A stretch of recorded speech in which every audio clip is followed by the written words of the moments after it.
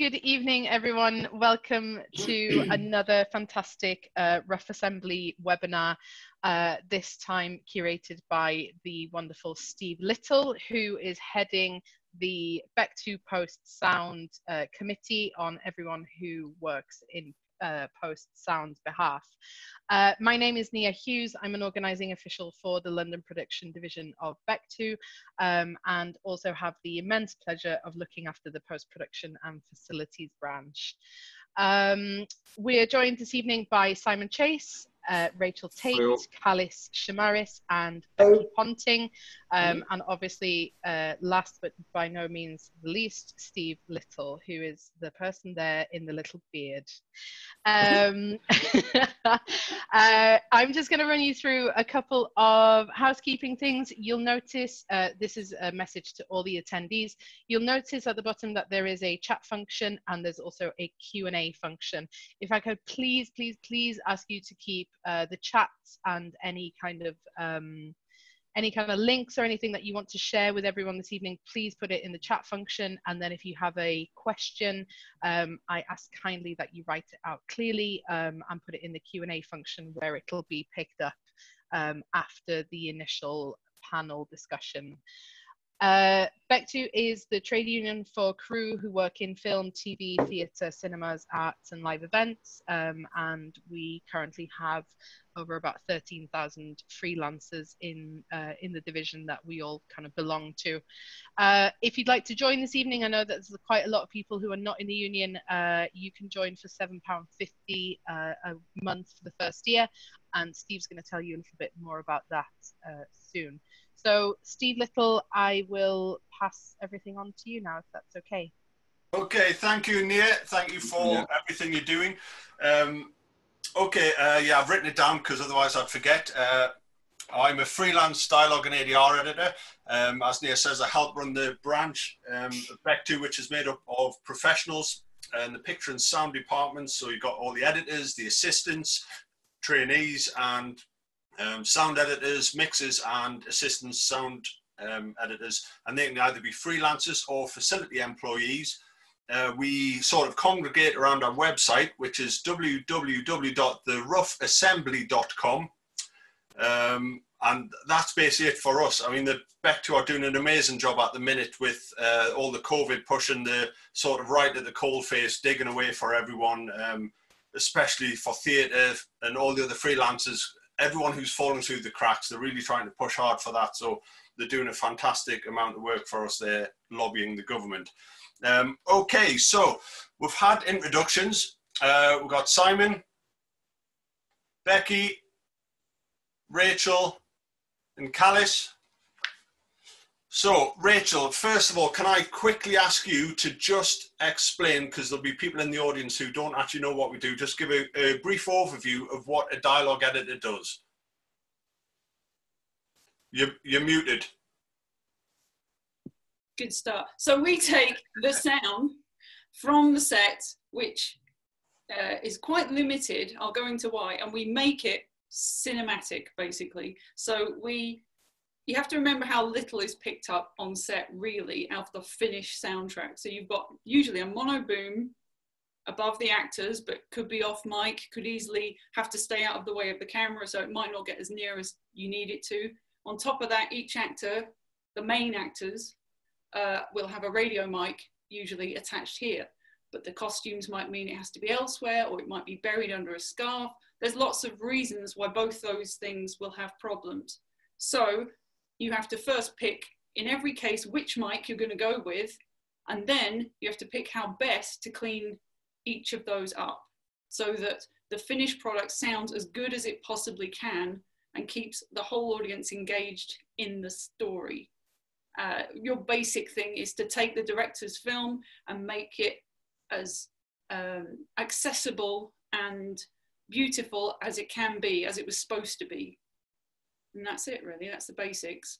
Yeah it's just about getting every word and syllable and line as intelligible as it can be. Mm-hmm. um, yeah so every every line stands as good a chance as it can to be understood. Yeah. Well, maintaining the integrity of the original reading, which may be mumbled, maybe, but that intensity of read may be just what the scene needs. Uh, so you kind of, it's always this balancing act between, okay, we need to clarify it, but we don't want to lose that magic. So that that's, and there's, that's such a subjective thing. And it's, um, you know. Yeah, absolutely. Um, okay, so Simon, uh, take us right to the start. You're just about to start a job. Um, yeah. Just for everyone out there, what do you need to get hold of to be able to make a start on a new project? Who do you talk to? Well, here's the thing. So first off, you, ideally you'd start with a meeting. You'd, you'd want to go to the picture cutting room. Normally they'll have finished shooting. The director will be there with the editor. Uh, we tend to say picture editor simply because we're all dialogue editors and you need to know who you're talking about. So you say the picture editor. Uh, maybe his assistants or her assistants will be there. And um, you'll go and meet them maybe see the movie, talk about the movie. It'll be in a very rough state. It won't be finished, and uh, it won't. They'll just had maybe a pass on some of these scenes, maybe had a full pass of the movie, but you'll just touch base and and get to grips with um, what they want out of the movie, what you can offer. Just just that kind of uh, human contact really important often doesn't at all happen and you just never have that meeting that you really would like to have and you just have to talk possibly via an assistant in your department or just directly yourself to the first assistant editor who again you just call first assistant. Everyone will just say that for the for the duration of the film the first assistant although obviously there's a first assistant director but they're kind of off the film by now. And what you need to get from then first is what's called the rushes or the sound rolls, and those are the recordings that the sound recordist made on set. They're all digital files these days, and they're multi-track files of you know they shout action and you know sound roll sound action, and they laid out the microphones, attached them as Rachael was saying. You've got those recordings. You need to get those, all of them, so you're ready to start. So um, that's probably a drive, maybe anywhere from 100 gigabytes of audio to maybe up to a a terabyte, maybe, you know, depending on the size of the project. You'll of course need a picture file, which is a QuickTime, um, which is just, you know, the movie. Uh, they'll cut it up into reels. Again, that's kind of historical. They don't, everything's projected digitally now, but you, we still always work in reels, or, or rather I, I do. I don't know if anyone doesn't anymore.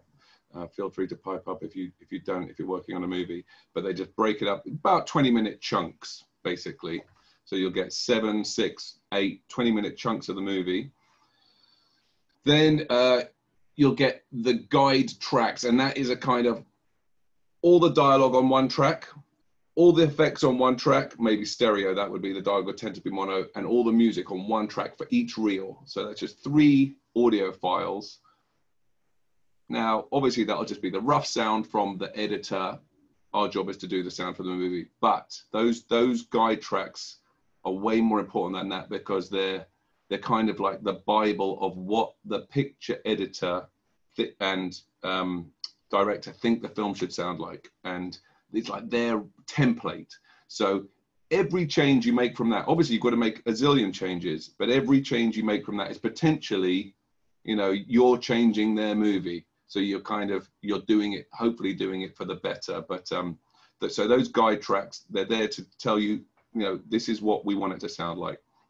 More complicated than that is what's called the aaf which is i didn't have to look this up but it's the advanced authoring format. Yeah i knew that.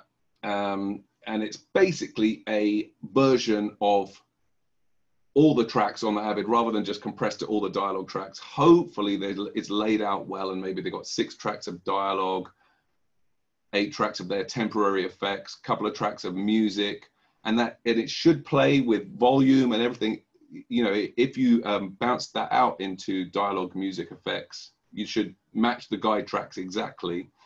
But um, it's it's kind of is the editor's tracks and you can see in far more detail what they've been up to. Um, and the other thing you may get, although they tend to get used less, well, I might go into it in a bit, is an EDL. Now I'm going to do the most boring screen share in the history of screen shares and show you an EDL. um, because for years I didn't really know what it was. It's, it's an edit decision list, and it's literally just a text document. And I'll, I'll try and share it now if I can. Okay, hopefully you're seeing it. Oh no, hold on, share. There you go, you're seeing it.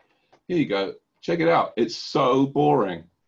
Um, but that's all it is. And what I don't really, we don't, I don't really use them. Maybe we'll go into, there are programs that use them now, but it's interesting to note that all those things I discussed, you don't need any of them to get started. You could just have this text document.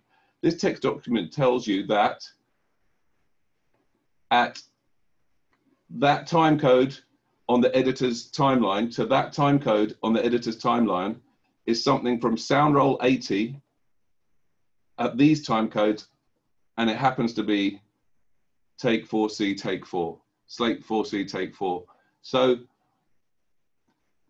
you could just go through that list and make the whole movie soundtrack just by going okay i'll get that bit of sound put it there that bit of sound put it there of course, we don't do that at all anymore, but that just shows you how basic it is, is just, you just put the sound from the set. Now, why do, why do we need to do that? If we've got the AAF, which is a detailed version of the sound as it is, why, why do we need to use the sound rolls? Why can't we just use what they've used in the Avid? Well, as Rachael was saying earlier, um, the, the first track of the recorded location sound tends to be tends to be the first track, sometimes the last, whatever, but tends to be the first track is just a mix of all those microphones. So you've maybe got eight tracks.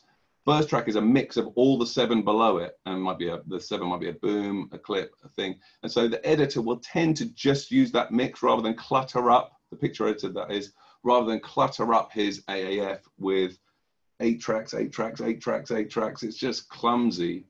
They just use a mix we then need to expand that out into um, and, and, find the legs we want. Um, so that's it on a technical side. The only other thing you um, would would be really useful to have is a cast list, hopefully with photos, because another thing that happens is uh, directors and editors they'll just start talking about a person like you know them like the back of your hand. So it's a really good thing early on get the names of the actors down, get the names of the characters down, and so you know at any moment who they're talking about. Um, and then a script. Uh, so again, you can you can look on the script for um, uh, you know what, what what the scene's meant to be. What if you don't know what the hell someone's saying because the recording's that bad? Go check it in the script, and you go, oh my god, that's what they're meant to be saying, and um, I'm going to be in trouble here. Um, or another thing you can get is a photocopy of what's called the marked up script which will show you each line of dialogue. It'll kind of show on what takes and slates that line of dialogue was recorded. So if ever you need to go and find other versions of a particular line of dialogue, you don't have to then go, oh, well, how do I know where to look? Yes, it's in this scene, but there's a load of stuff in this scene that's nothing to do with that line of dialogue. Well, I know it was only in slate 8, B, C, D, G, and L. So once I've searched those, I'm good. I know I've searched everywhere and I've, I've heard every version of that line of dialogue. And um, correct me if I'm wrong, guys. I think that's kind of it. It's, it, the whole thing is called a turnover. You say, I, I want a turnover from the picture department, and that um, is is all those things. It's the picture file, the guide tracks, the AAF, the EDL, people do use the EDL rather than the AAF. There's software that can help you use that to get back to the original rushes. I tend not to, but um, there's a great piece of software I was just looking at called Ediload. I don't know if any of you guys use it, but it it it does does a great job of of of um, expanding the the tracks to the to all those files. Cool, thank you, Simon. So uh, Becki, that's a good point to hand over to you. So you've got um, the AF, you've got all the floor sound. What what do you what do you do next? What's next in the process? How do you then split out into all these different mics so then you can make your selections? So what I do is I will have hopefully have spoken to the dialogue mixer and got a template for them because these days, if possible, we try and do it 100% in the box. So what's good is if you get a template from them with all their plugins and all their reverb sends and return and busing and outputs, so that you can work within their template. So you can then go from this point to the final mix without hopefully having to change your track layout. So yes, Simon? Becki, when you say dialogue mixer, you don't mean the location sound mixer. Sorry, mean I mean a re-recording dialogue mixer. Yeah. yeah. Got it, Um, so once you've got that template, often it will just be a couple of tracks with an example of the plugins that that mixer wants. You then create your own sort of additional template on top, which for me would be uh, sort of six tracks of boom, six tracks of clip, things like RT, PFX, which are the production effects, um, ADR tracks, and crowd tracks. And then once you've got that, I then go to the expanded tracks that Simon was talking about, uh, which are the rushes, the multi-tracks, and they will come, they record, everything is recorded for every microphone. So then I will go through each microphone that's been recorded and drag up always the boom and a clip, if there is one, um, per actor, and ideally try and keep the radio for each actor on that same track for that same scene. So it's very obvious when the re-recording mix is mixing who's coming up on what track. Um, so I list, but I do listen to every track in case the labeling from the production mixer on set has got the wrong metadata in it, which can be very common. And so in conjunction with looking at the tracks visually to see the waveform, what they've written in the metadata, and also cross-referencing to the sound sheets where hopefully the sound recordist has given you quite a lot of info on why there might be two booms because the actors are going from one side of the set to the other, so then it's picked up in the other boom. Uh, why a, an actor might have two radio mics on, again, because they might be doing very heavy head turns uh, or have a very noisy outfit on, and they're trying different placings of the radio mics to try and reduce that. And so, yeah, I drag up the microphones and then I use clip gain to get them at the sort of relative volume that I'm going to want them at. Um, because when they record on set, often it's quite low so they don't hit the headroom, um, hit the buffer. Um, and then I start editing those tracks where I shall pass on to somebody else. Okay, so um, I mean, do you uh, start thinking about phase aligning the mics at all at this point? Uh, I think we all possibly do this sort of part of the process differently. Like, um, like I personally now do use boom and clip mic together. Um, before- yes, I edit both both tracks always. I mean, unless the boom is so like miles away, and and um, try not to swear, they're rubbish. Um, that I know it's not going to be used, but I will still put it on maybe track six of my boom edit tracks and mute it and maybe group it and say useless boom.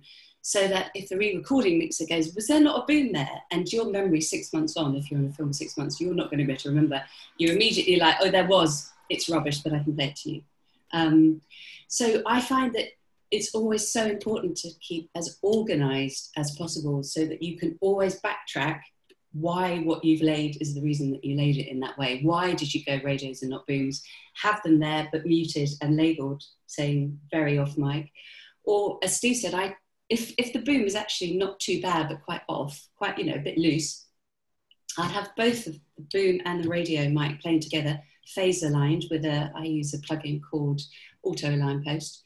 Um, I will have those two playing together and then do a relative balance because the boom, even if it is a bit wide, can add some nice sort of natural reverb and richness to, you know, sometimes quite a thin sounding radio mic.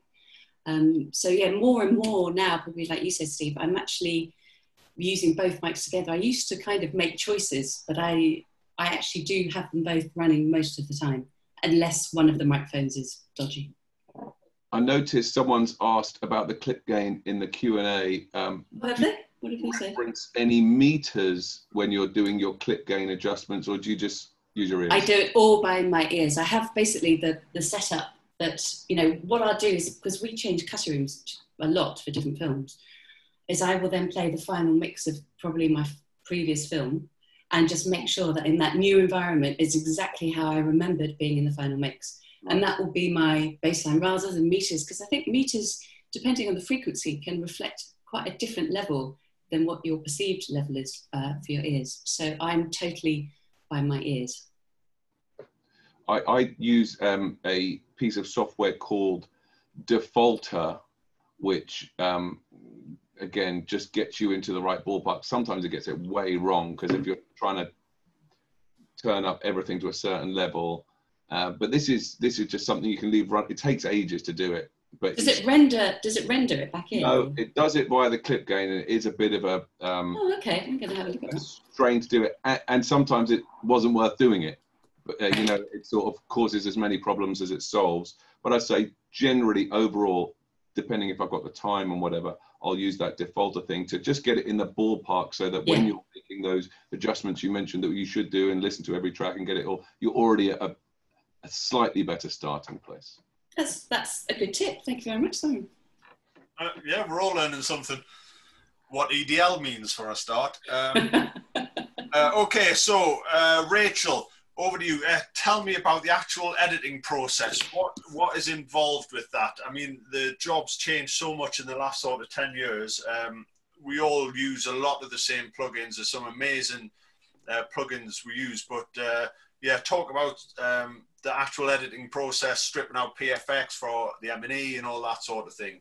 Yeah, that's a, weirdly, it's until you do it, you don't realize it's such a big part of what we do is the M&E. We have to make the uh, mm. tracks we work on um, as available to non-English versions of the film as possible. So in between, say someone's walking into a room and they say one, one line in the middle of it, we will keep all the movement and feet either side and fill where that guy's talked, uh, continuing the rhythm of his feet. So that if you take out all the English language, which we do when we're prepping to give it to someone to make a German mix or a French mix, we want to give them the whole film as complete as it can be, minus just that bit of English language. So we have to be thinking when PFX come up uh, in the track lay to keep as much as we can on separate PFX tracks um, because uh, it, it's just so important, and also the director is very used to hearing it. Yeah, so production effects um, is yeah. what, what, we call PFX. That's just anything recorded on set. As yeah. Rachael said, I mean, this could be breaths even. We often put the actors breathing in as an option. Um, and for the M&E, that's music and effects, which is basically the whole film just minus the language. So you can keep the reactions, keep everything except the English words, which gets complicated when you've mm. got a big crowd scene, say, and you're like, can you hear he's just said hello or not? Uh, so it, it's quite hard to pick out what actually is discernible as English language. Um, but yeah, that's a big part of our job, isn't just stripping and making a a scene just play without the words. Um, yeah. But keep as much as physically possible. Yeah. Uh, uh, but as far as plugins go, uh, once we've got to the stage where Becki just left it and we've picked the mics and we've decided what combo we want to play them in, we have to start trying to make them sound as good as we can. So um, a plugin I love to use is um, uh, iZotope RX7 Advanced. Uh, RX8 is coming out soon, but I'm on that one at the moment. And it's great because it's got so many different options in it. You've got dialogue denoise, which will pull the noise. It's very cleverly pulls the noise around the dialogue down but retains a lot of the quality of the dialogue, or you've got declick, uh, declip, uh, dehiss. Uh, you know, there's so many. I'm just going to screen share. Yeah. Um, Go on.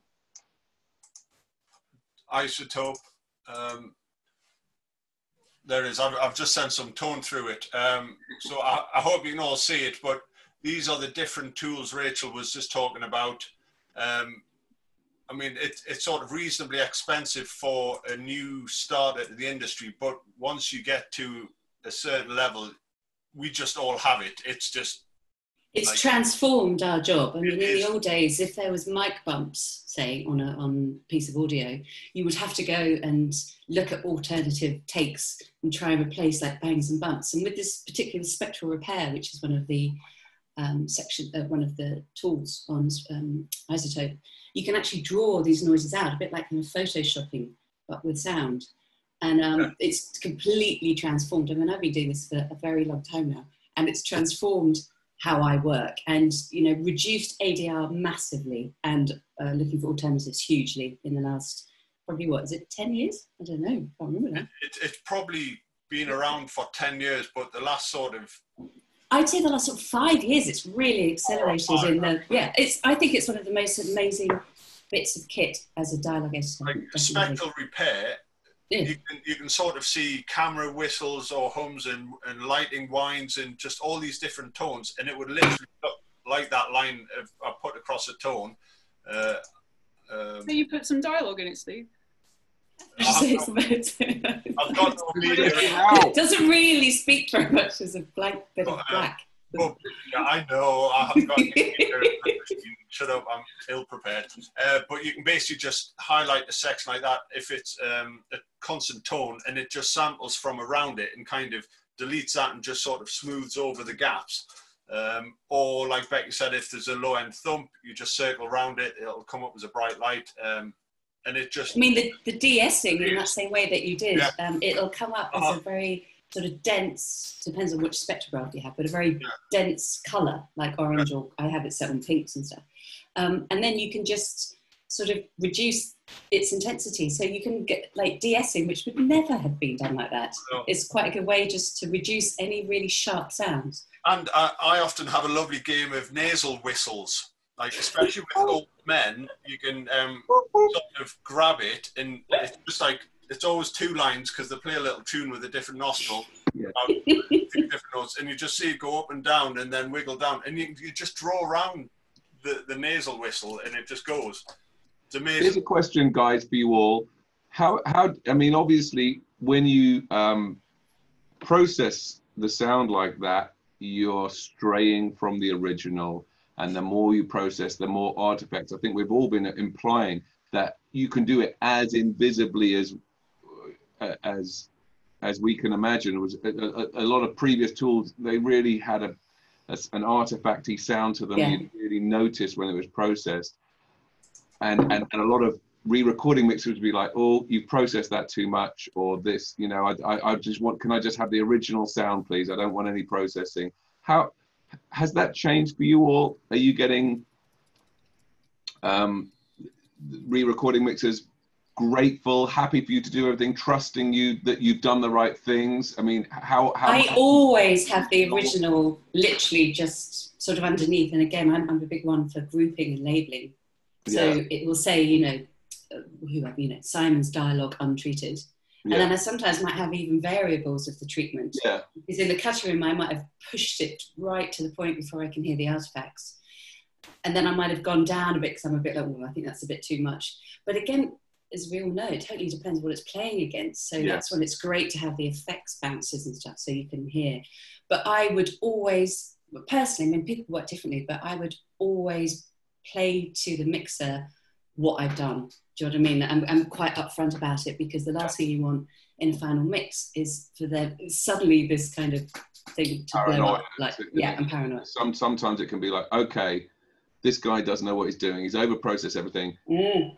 before we even talk about it, back back to originals. You're like, wait, wait, Yes. wait, wait. I Yeah, just yeah, yeah, yeah. that one line. Yeah, You know, there's a load. I of went too far. Yeah. Yeah, there's a load I of would- stuff that we don't want to throw away just because I made a mistake here. So you, you do have that is a sort of political thing you have to Mm. navigate well. But also, I mean, obviously, I mean, you know, there's certain mixers we re-recording mixers we work with a lot who know our Yes. sort of levels of what we do and how far we push it. But I would always advise anybody to go one notch down from pushing it as far as they think it can go, and because you can always go again, you know, in the in the premix or something with a tiny bit more. But I wouldn't go as far as I wouldn't get obsessed with it sounding 100% clean because it's going to go against sound effects and, and atmospheres. So just make the dialogue as clean as you think it needs to be to go against what the background is going to be. If you're in a big train station, it's going to be noisy. So Exactly. I mean, uh, you, you can have a scene in a storm or on on board a ship or something, and there's been massive fans on the set, and you can absolutely destroy the original audio, Mhm. which is pretty much unusable. And you think that is there's you listen to it and you think there's nothing there. You you've absolutely destroyed it. You put it against the sound effects, and you're like, perfect job yeah, done. So absolutely. it, it is. It's um. It just changes with whatever you're playing against. If it's a quiet scene, or say if you've got something set in the 1800s and you're quite near a motorway Mm. or a, or a flight path or whatever, then you can't denoise too much because there's nothing to support it. If it's just a kind of uh, a nice, pretty countryside atmosphere with birds and a bit of wind, you can't hide any severe processing. For that, you just end up ADRing it. There's also no. There's also cedar. Cedar works great on a lot of this stuff if you and treat it to the right amount and uh, and don't go too far with it, and then you can get the effects team to fill the center channel with a similar frequency to bed it, bed it where it goes up and down, and they can really help if you tell them, "Can you give me some shashi crowd movement here because it's it's you know or some cicadas there because that would really cover that up." They will do stuff like that, or a gust of wind, or Yeah. a car, you know. Yeah, Yeah. because I tend I try and make fill tracks for those very situations and put it up the middle. I mean, as much as the sound effects people are great, but just so I absolutely know that will work, and even sometimes some clothes rustle going out in and out of those lines. To as, as you said, it's the, it's the smooth, it's the it's the sort of tricking the ear that you think that's what was going on at the time.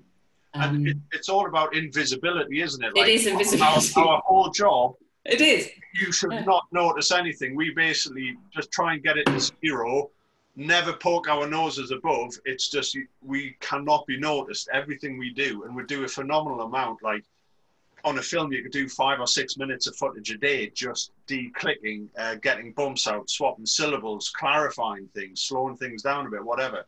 So it's it's an incredibly time-consuming thing, but no one should ever ever notice. Like Mm, should notice your ADR. They should notice any processing or anything like that. Um, the other thing with something like declicking it's not it's not just a technical okay we need to get the clicks out it it helps it the sound wash over you in this invisible way where you're not you don't think oh i'm listening to some dialogue now you're just hearing the words and you're just engaged with the actors and so a lot of these things it sounds like oh you're being a bit nerdy in a declick but it's uh, it's all it is is so that it's just you and the actor and there's none of this other stuff that distracts and the Mm. tiny little things can just they just it doesn't knock you out the scene as such but these things aren't binary it's not like i'm in the scene or i'm not it's just they're little distractions that you just don't need and so all of that stuff is is is for the art rather than some technical oh, I, I don't want any clicks in this but I mean, that's the thing. It, sorry, it is all subliminal. Everything we do, we raise like a, a crowd shout a tiny amount, and suddenly the audience is going, "Oh, I do need to listen to that. I don't know I'm listening to it, but so we're telling them what to listen to the whole time." And if you say don't take clicks out, you only hear clicks in the human world when someone's very close to you. And suddenly, hmm. if you hear ADR and it's full of mouth clack clicks, it's like their ear is right, their mouth is right beside your ear. So if you don't get rid of those clicks, they're, they're in the wrong place. Like you shouldn't be able to hear a click if someone's that far away.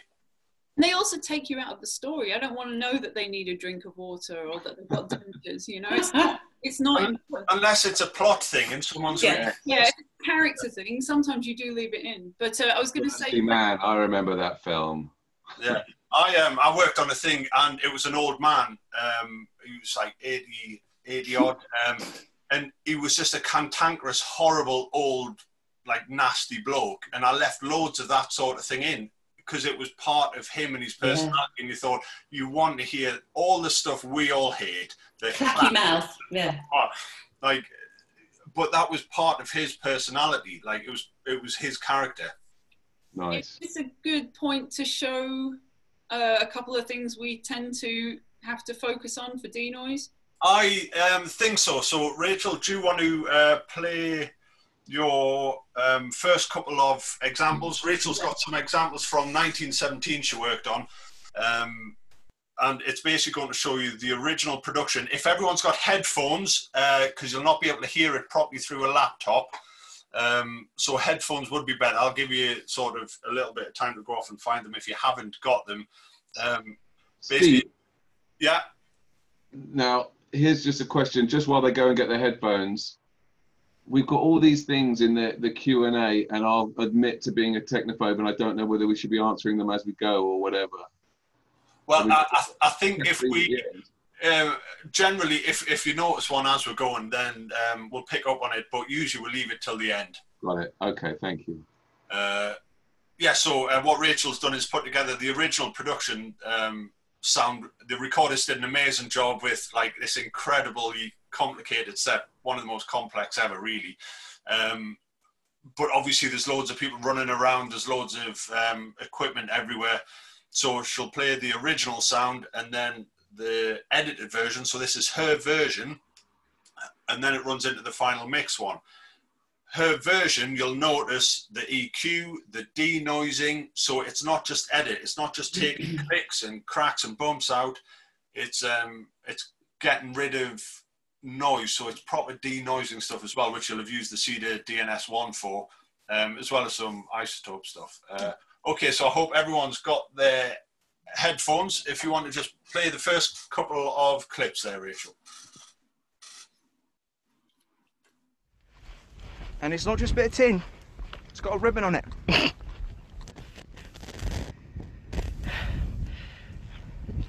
I hated going home. I hated it. When I knew I couldn't stay. When I knew I had to leave and they might never see me.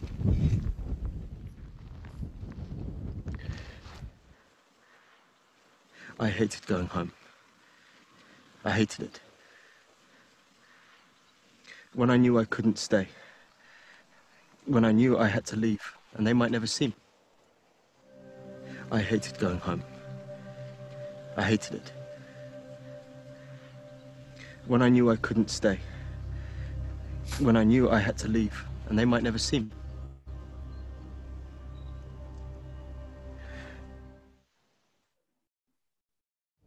I mean, who machine guns cows? Huns with extra bullets bastards. Clever. If they don't shoot the cow, you'll eat it. Still bastards. How long gone do you reckon they are? Why? But he will catch up with them? Yeah. It's bloody miracle, this, right? Yeah, they're probably right around the next corner. Ah, piss off. I mean, who machine guns cows? Huns with extra bullets. Bastards. Clever. They know if they don't shoot the cow, you will eat it. Clever.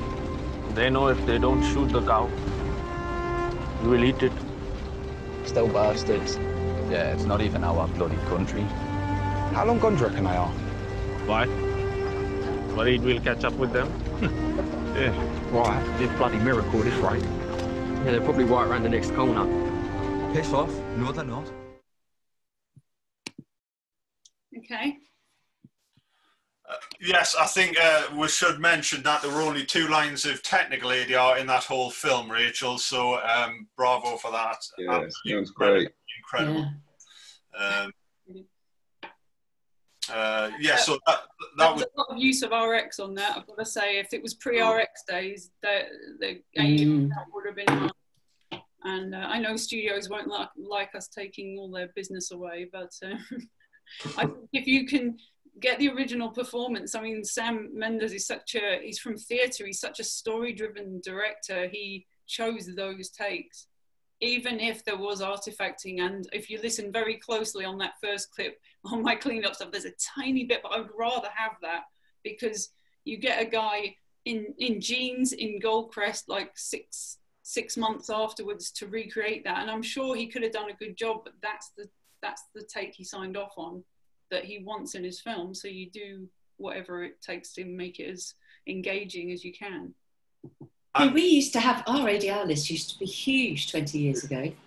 And, and as you said, if you, as long as you have a good good sound recorder, as well, at the time, um, nowadays technical ADR generally your list at the beginning of the you know of the edit is pretty low, but then it creeps up with additional lines and all that kind of stuff. But yeah, as you said, Rachael, RX and uh, and Cedar, but RX for me personally has really yeah, changed the game. Yeah. Within that, it's learning how to use it. Say um, you don't just hit dialogue isolate; you'll hit Yes, every parameter. You, yeah. You can also copy and paste bits of the, that mm picture around the world. You can copy and paste bits of it and put it in other places and stuff. There's mm. there's amazing stuff you can do. And luckily with that, the lack of um, we're going to go into conforming very soon, but the lack of Uh, yes, yeah. That was was highly unusual, and it meant that I could get super forensic on it and not just be chasing the cut, as we're about yeah. to talk about. Just um, the other, I, I, would like to say though, and I'm, I'm sure we, we, we all mean it, as we all praise RX, it's fantastic, but there's also a heck of a lot you can do and should learn to do and get and, and practice doing just with dialogue editing, right? Yeah. It's like yeah, absolutely. find an alt take where the S is a little clearer and stitch it on, but you know, make sure you got that right.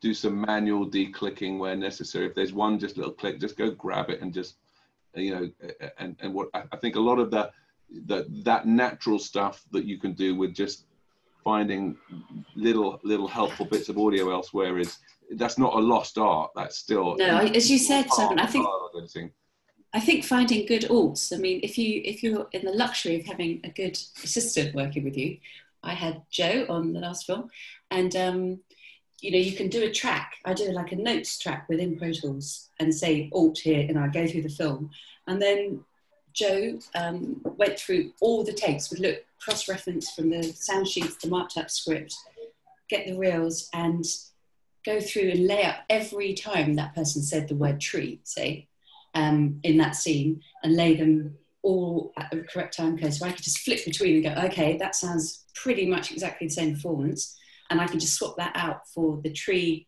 um, line that um, had the noise on it or was off mic or crackled or broke up or was unclear. As simon said you know clarity is our key thing. We need everybody to understand every syllable if that's intended um, that people say on set that shows the difference in how uh, each dialogue will have their own um, approach and mm. totally mm. they're all valid and and uh, i would tend to see how clean I could get that take that they chose and then go to alts for the S's, mm. the T's, or the ends of sentences. And because you have to flag every change like yeah. that. And they're going to be like, why has she gone to another take? Mm, so yeah.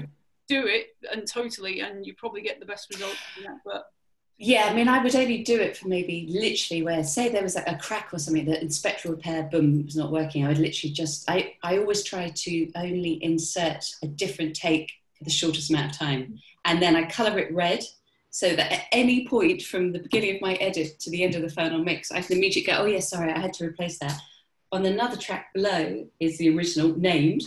Again, I will click group it and name it and say uh, original, you know, tree uh, replaced because of crackle distortion, which I couldn't get rid of. So there's there's always you always have the answer to a question that the editor, the producer, the director, or the, or the uh, re-recording mixer might ask you is being able to explain why you did what you did. Because if you lose trust, or sorry, if they lose trust in you and they think you've gone willy nilly through stuff, the whole atmosphere can break down and uh, it can all get a bit, yeah, not very pleasant. So, yeah, make sure you know exactly why you did everything and can trace it back. And basically just do as little as possible. So, like, if you need to swap a B out on the start of a yeah. word, you literally just take that B. Or the, yeah. if someone's mumbled the start and end of um, like the word bad or whatever, just like just get the tiniest amounts and swap it. So you can you do have to be able to justify sometimes mm. why, why you've done stuff and it's nice as you say keep track make sure you you keep a sort of note for yourself of why you've done stuff and just do the least possible um, uh, so that brings us nicely on to uh, bringing Kallis into the discussion. Hello. hello, Kallis. Kallis is uh, a master with ADR. Um, so I'd like to talk to you a little bit about that process. Um, so we're starting to edit all the sound. Um, we need some technical ADR and production will ask for some uh, creative ADR, which will be changing lines or adding lines across the shoulder to explain things or anything. Um, so talk us through a bit about that process of the actual prepping of it, how you decide what's ADR. Um, do you have to talk to a mixer, the re-recording mixer, before you say this is unsavable? That sort of thing. Well, it depends if I'm doing the job on my own or not. So sometimes we work together with a dialogue editor that's working originals, and they'll and then maybe they'll assess the originals. If I'm doing it all myself, then I'll make my list of the technical stuff that I can't fix I feel it's too off mic or we haven't got an, an alt for that's going to work or what have you. So we'll, we'll, have, we'll get that technical list. Um, and then there'll be the clarity stuff where you can't quite catch a line, and that, that's really crucial because it's that first instance of not understanding a line that's really that's really really crucial. Because if you once you've read the script, once someone's told you the line, you're gonna you're gonna know it. But it's that first instance for the audience that's crucial. So if so, that's a clarity line. People don't like to hear those. Don't don't want to get that news because if you've been working on the on the show for so long, you know it inside out. You know those lines, but an audience won't, and they're to they're to miss it. So that's important. So I do all that technical stuff. Once if you've had a spotting session, ideally, um, the director and whoever will flag other stuff that's an issue. Maybe it's accent. Often actors aren't always playing their, their own their own accent, so they'll be playing different accent, and sometimes that that will drop.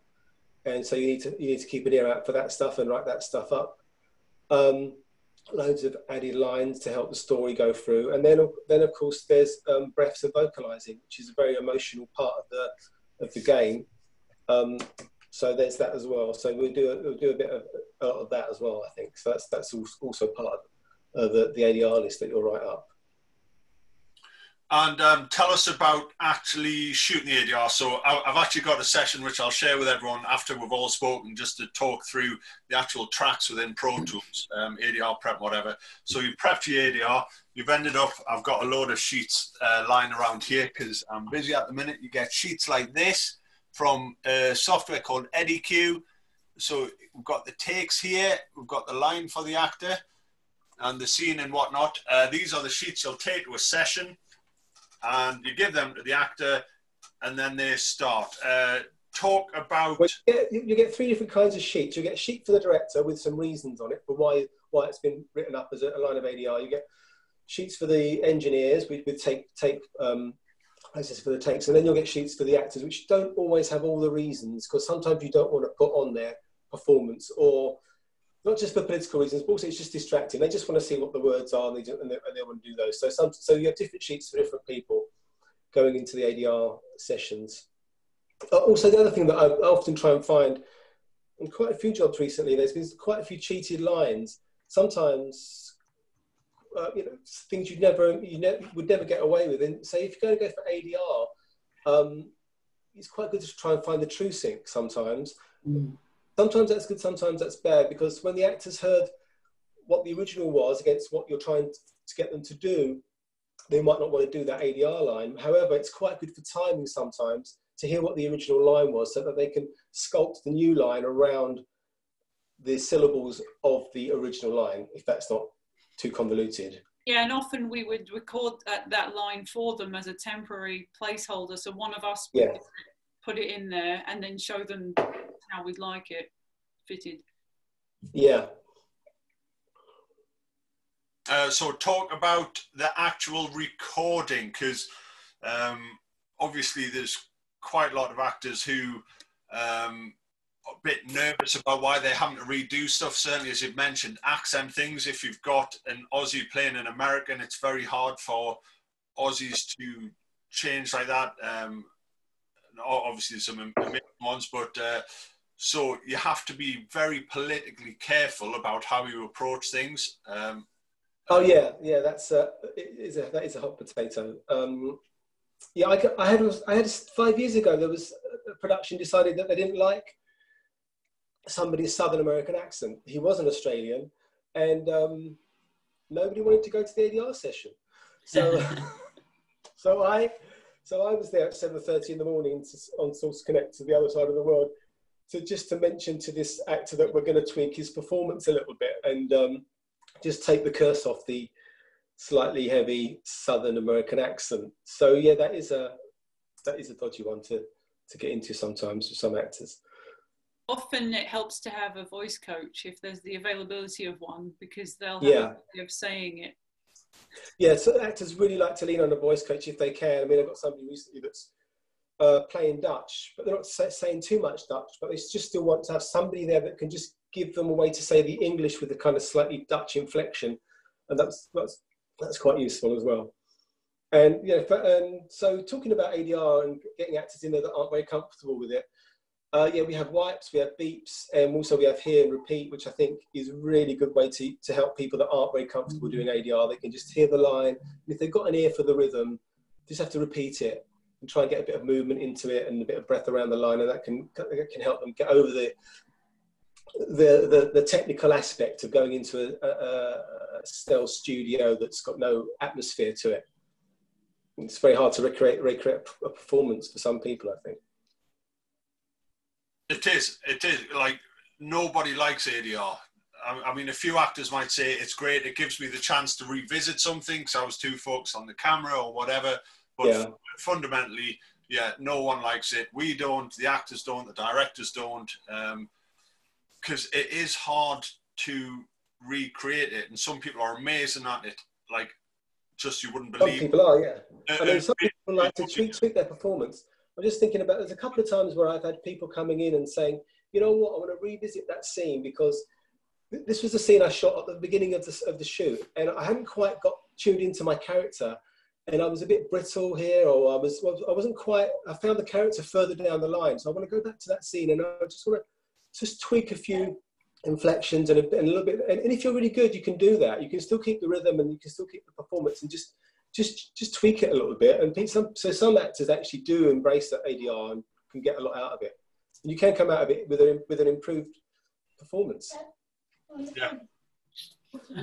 Um, Sorry, I've just got somebody at the door. What do you want? Yeah, no, that's all right. So um, every, everyone else, I think what it is one of the biggest parts of our jobs to be um, a sort of personality in the ADR that just doesn't inflame things, and it it's quite a hard thing to do. So um, just talk about how you cope with difficult situations in ADR. So Becki, Why are you asking me particularly?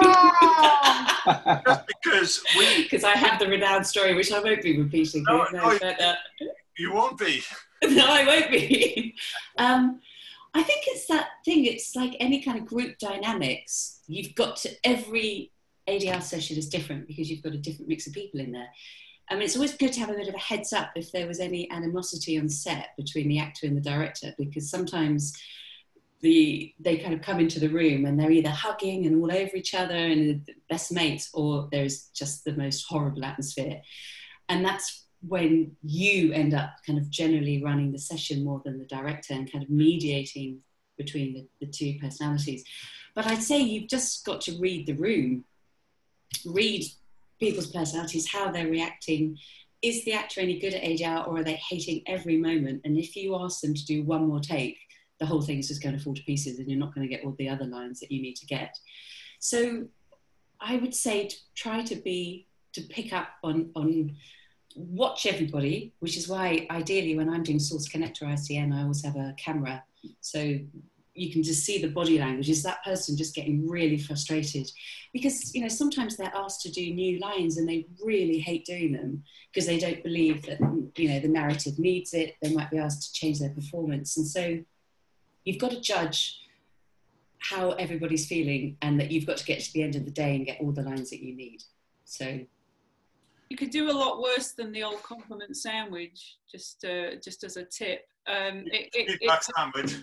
Yeah, it helps to um, go in. You know, oh, that was that was great. That I really felt like that that was uh, coming across great. I tell you what, we'd like to really stay in touch with your character in particular. I wonder if you could just do a little more projection. You know, there's ways of. Um, Yeah, re- I think reassurance is one of the big things. You can tell, and uh, you know, you can tell when they come in the room. I mean, I've had some actors just say, "I'm not doing what's written down on these sheets." Immediately they come in, which is a great start. Um, and then you can also tell from the moment the first line, you know, that first take with an actor that you never worked with, the first take of ADR, and like, "Oh my god, this is just going to," and immediately you just start striking lines off the sheets, going, that, we're never going to get that. We're never going to get that. Um, so yeah, it's it's it's molding your expectations to the situation. So you couldn't say that that is the way you've got to do it. But as Rachael said, I think reassurance, coaxing, making them feel safe in that environment, and that their performance isn't going to be destroyed. That's the biggest thing I think for both the director and the actor. That you know it's as good, if not better, than the original, which is quite difficult and quite time consuming to do. It's a weird job. Eh, sorry, I was just going to say it's such a weird position to be in. There's not many other jobs on the film set other than the director where you're potentially having coax a performance out Mm. of someone and you're not an actor. They know you're not an actor. Yeah, and they've never met you sometimes. I mean, you just turn up. Well, they turn up and they've never met you, and you're telling them or asking them to perform in a different way. Yeah, So, but yeah, it's a strange similarly, environment. You've been staring at their performance day in, day out for six months sometimes. Mm. You know it off by heart and you know exactly Mm. what you need them to do. So it's Mhm. just getting them to trust you. It's, it's a tightrope. It, it can It's be. true. And that, uh, someone said in the chat, and they're quite right, actors can be quite fragile. But uh, that that's not necessarily an insult. I mean, imagine it. You walked in, all eyes are on you. You've got all this headspace of what was going on in the set if you're an actor and, and, and your performance. This is maybe the first time you've seen yourself in this movie. You're thinking, uh, do I look weird? Do I sound weird? And there's the four strangers going, yeah, Mm. go again, please, record. You know, it's crazy for an actor psychologically. So you, Mm. it's it's all about making them feel as comfortable and and and calm as possible. That said, you've turned up to get these lines. It's the easiest thing in the world when the director says, "Oh, I don't think we need this," and the actor's like, "I don't think we need this," to go, "Yeah, okay, we don't need this," and everyone's happy. And then you get to the mix, and it sounds like trash, Yeah. and you know you needed it, and and so you you. Sure, you can drop some of the low priority lines from your list, but you've you've you've got you've got to kind of find a way to navigate the po- the politics of it. And it's not being sneaky. It's just going, look, what does this person need to hear to make them trust that we're not we we have no agenda to undermine their performance. We want to make them look as cool and as amazing as possible, and this line's going to help. And and finding a way to explain that to the actor that like we just want to make you look awesome. I think that's when that's when the ADR mixer can really help you in the studio. I think you, you do need to you need you do need allies in the room, and you know um, and when that person is also in tune with what you need, they will play, they will play it play it again to the actor and say, look, and maybe turn it up a bit louder so they can hear the shash or what have you, and and that's going to help as well, I think. And it's also you you you, you sometimes you, you build up a kind of secret language with the director where you know what he they really want. But sometimes they don't want to say it, but they want you to say it for them Mm.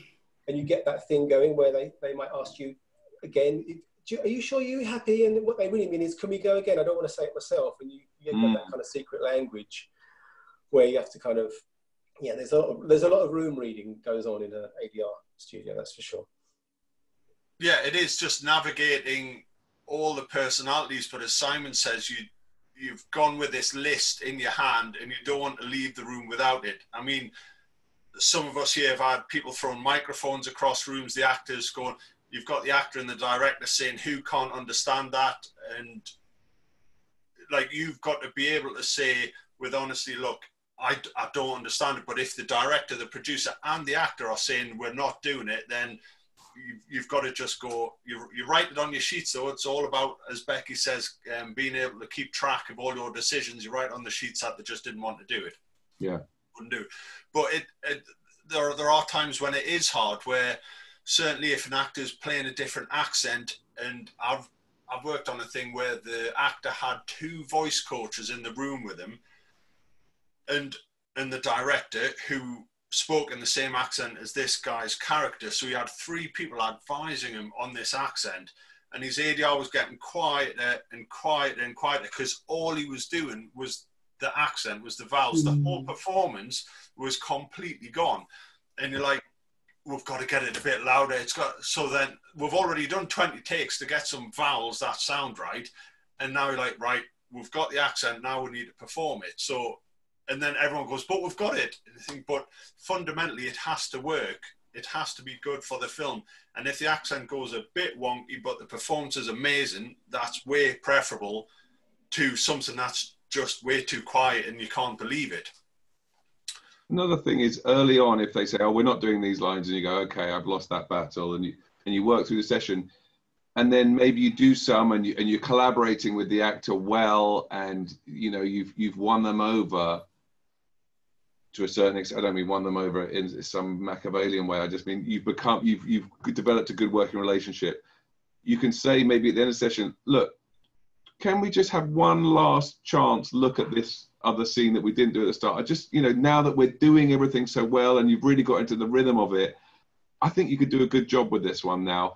And suddenly you can get it. And so what you thought, oh God, I never got that scene, you got it. You got it. So you know, never give up. You can you can sometimes find a way to wheel round and and get something again. You know, and um, I do that. You know, like when you get some dodgy ADR at the beginning of the session, Uh, and then I make little stars on it, and then at the end, as you said, if it's all gone well and everybody's kind of great friends in the ADR theatre, and they're like, "Yeah, I've got some great stuff," you go, "Do you know what? I just think, you know, that first line. I reckon just one more take. I reckon you could totally nail it."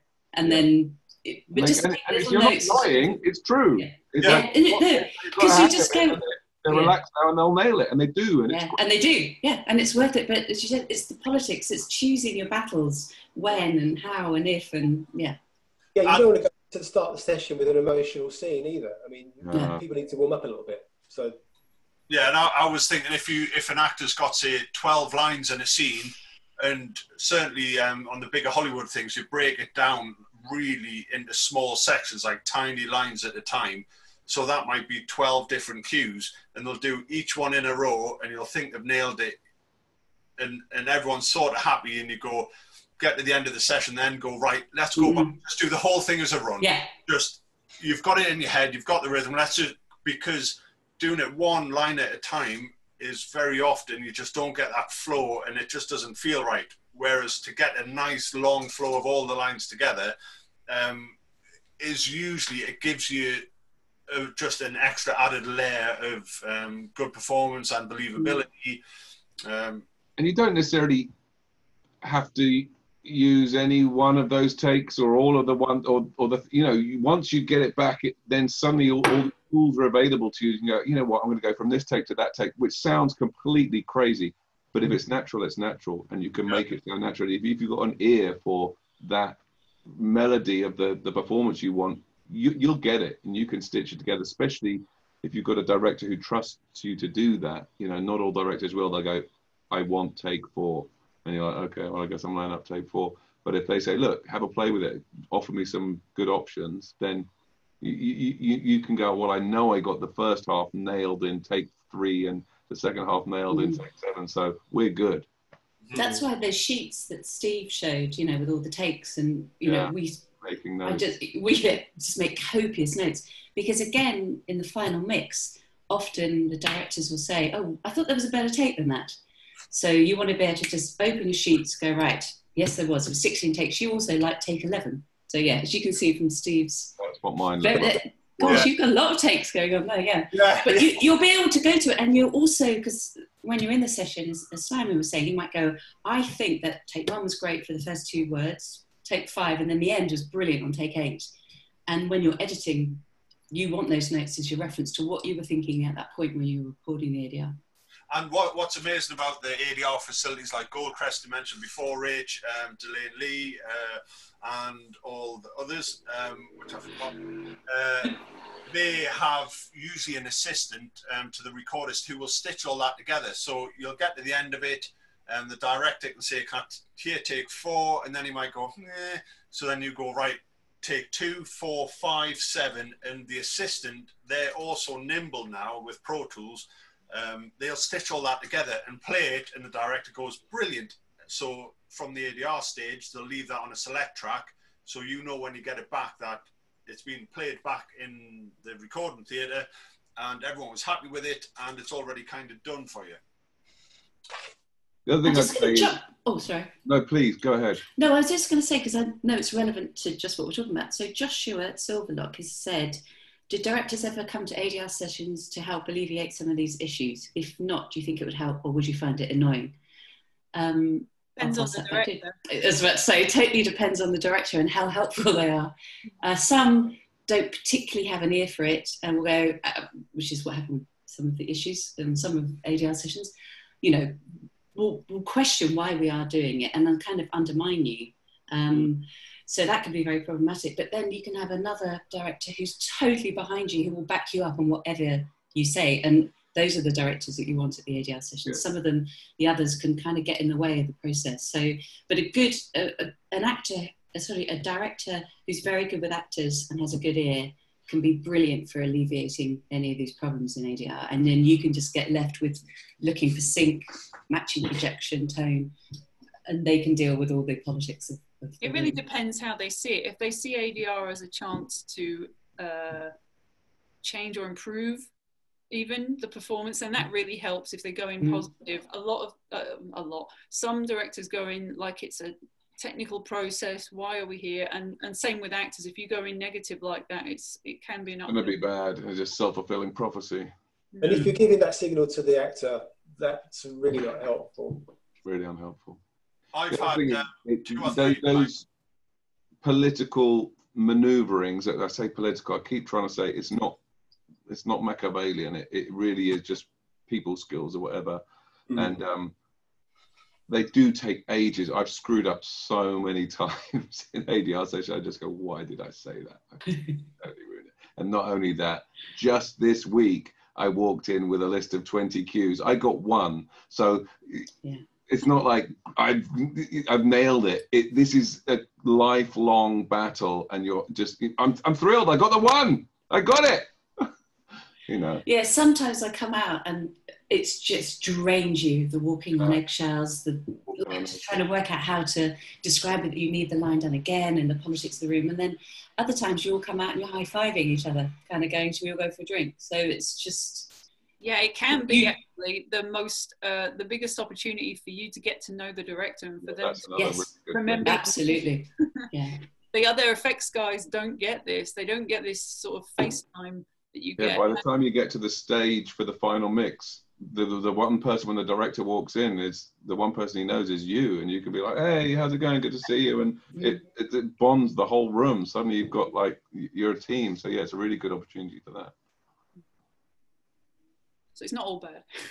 That's great. Yeah, I've, I've, had a few occasions where the director falls asleep and they're literally sitting with the actor in the same room snoring. And you're like how do i wake them up? Because the microphone's picking up the snoring but they're a bit touchy. Just going, what do I do? Like, I can't just go in and give him a nudge. But this particular guy just kept falling asleep. Like, I'd be texting him, yeah. Always politics. And as Simon says, it doesn't change either. You don't ever get to a point where you're like, I, I've made it, I've done it, I'm there. Everything I do is great. We all question everything we do all the time. Like Becki, you, you keep track of every decision you've made because at some point someone's going to question you and go, Why have you done that? And you're like, Because of this. And you won't remember really why you've done it because you've made 20,000 decisions like that. But to give yourself all these little notes on your session and make it easy for yourself, um, and the color coding Becki mentioned, I think that's great. I've got mm. my whole. We, we should actually align our colors. We should really, shouldn't we? So because I've got Every yellow for noise reduction. Yeah. Color for yeah. different color, differently processed, covered color for this yeah. color. Yeah. I'll yeah. send you my list, guys. You said let's hear. All of you. So I've used Becki's colors. I've used Simon's colors. I don't know, Steve. Have you got colors? I guess. Uh, red, red for danger. Right. Okay. I use red for ad lines. So the yeah. an, an ad line, and he's definitely going to use that ADR not, not to drop it. Yeah. Yeah, Sometimes I do region groups with great big arrows, basically going, use yeah, this. So yeah. I do that as well, yeah. Because uh, sometimes, because I, I, work so much in TV, um, we don't always go to the mix, so I have to find ways to communicate with the mixer. And I've had a great relationship with the director. I know a lot of what he wants, he or she wants. So I, I so how do I get that across to the mixer who's got a very short amount of time to get all this mixed, and there's a whole load of stuff here. So I, have got notes all over the place. I did have yeah. a session with um, Chris Burden where he says, actually, I don't read, read region, region groups actually. I just, I just take that. So I had to, he I literally cans them markers for him. So uh, yeah, it depends who, you, who you're mixing with. He's got to find a different way to communicate with whoever. Yeah, actually, I have worked with a lot of mixers as far as track laying goes that just want it as simple as possible. So when you say you're stacking up all the different stages of processing, that will do some mixers' mm. heads in when you you. But then they're always muted and dragged down. Do you know what I mean? So there's only one pathway. Whenever I present tracks, which I think I was going to come to in a minute actually for pre-mix or whatever, there is an absolute definite path. So even if there's options, they're there and they're clearly labelled, but they're muted. So a Mm. decision is made, which I think is the right one. But then when you get to the premix, you can see from all your notes, you're like, okay, well, I went with this, but because I thought the original cleaned up was good, but actually I think we might ADR. So can I flip? So you then unmute. You know, you're you're you're presenting, but not at the same time because it's confusing for the mixer and for you. Because even though you think you'll know why you were doing it that way, you're like, oh, I can't remember which one I wanted to use now. So yeah, But- labeling. Uh, that is a big difference, as Kallis says, with TV and features, where uh, on a feature, unless we're shooting ADR or whatever, we would all go to the pre-mix with the re-record mixer and then the final. So we can talk through all of those things, all the things you've labelled and you've offered alternatives for. You you can talk through and show the, the different options and make a decision there and then. But as Kallis says, often on telly, you we all just work from home. You just send it in. You never go to the mix. You you don't do anything. So um, you have to almost be more paranoid and more um, informative to just say um, tell everyone why you've done certain things or just what they are. Um, so uh, on to the next little bit, Rachael. Um, again, it feeds into sort of the TV and film thing. On on TV, we would um, say have a couple of weeks to do an episode, whether you're doing dialogue originals or ADR or whatever. If it's on a, a reasonably high profile thing, um, and then you move on. On a feature, you could be on it for three, four, five, six, nine months, but you are still just as busy on a feature, just chasing temp mixes for screenings. Um, so what what production do is they come with a version of the film they like. They say right, it's ready to test. They um, do a temp mix, which is where they get all the different departments together and do a mini final mix. Send it off to um, somewhere in the states or London, wherever. They test an audience, get an, a recruited audience who give feedback and a score on that film. And from that feedback, the producers then recut the film, try to work out any issues that have been flagged. People didn't like the lead character, and you can't have that. So you try and the editor will warm them up by making them smile a bit and not be so horrid or whatever. Um, and then they retest it, and then they retest it again, and that could go on for five or six different times. And every time they do a temp mix to go to a screening, we have to do these recuts where we have our session at version one and the temp mix is going to be version two. So, Rachael, talk us through that process. All right. So uh, when it's time to recut, uh, they will tell you you've got a turnover coming. Simon mentioned the turnover right at the beginning. It's the same thing basically. They will give you new picture, usually a little shorter than the old picture. They will give you new guides that they've uh, exported from the Avid, and they will give you um, their AAF, as Simon mentioned, with basically what's in your guide track, all broken out into how they see it in the Avid, and they will give you an EDL.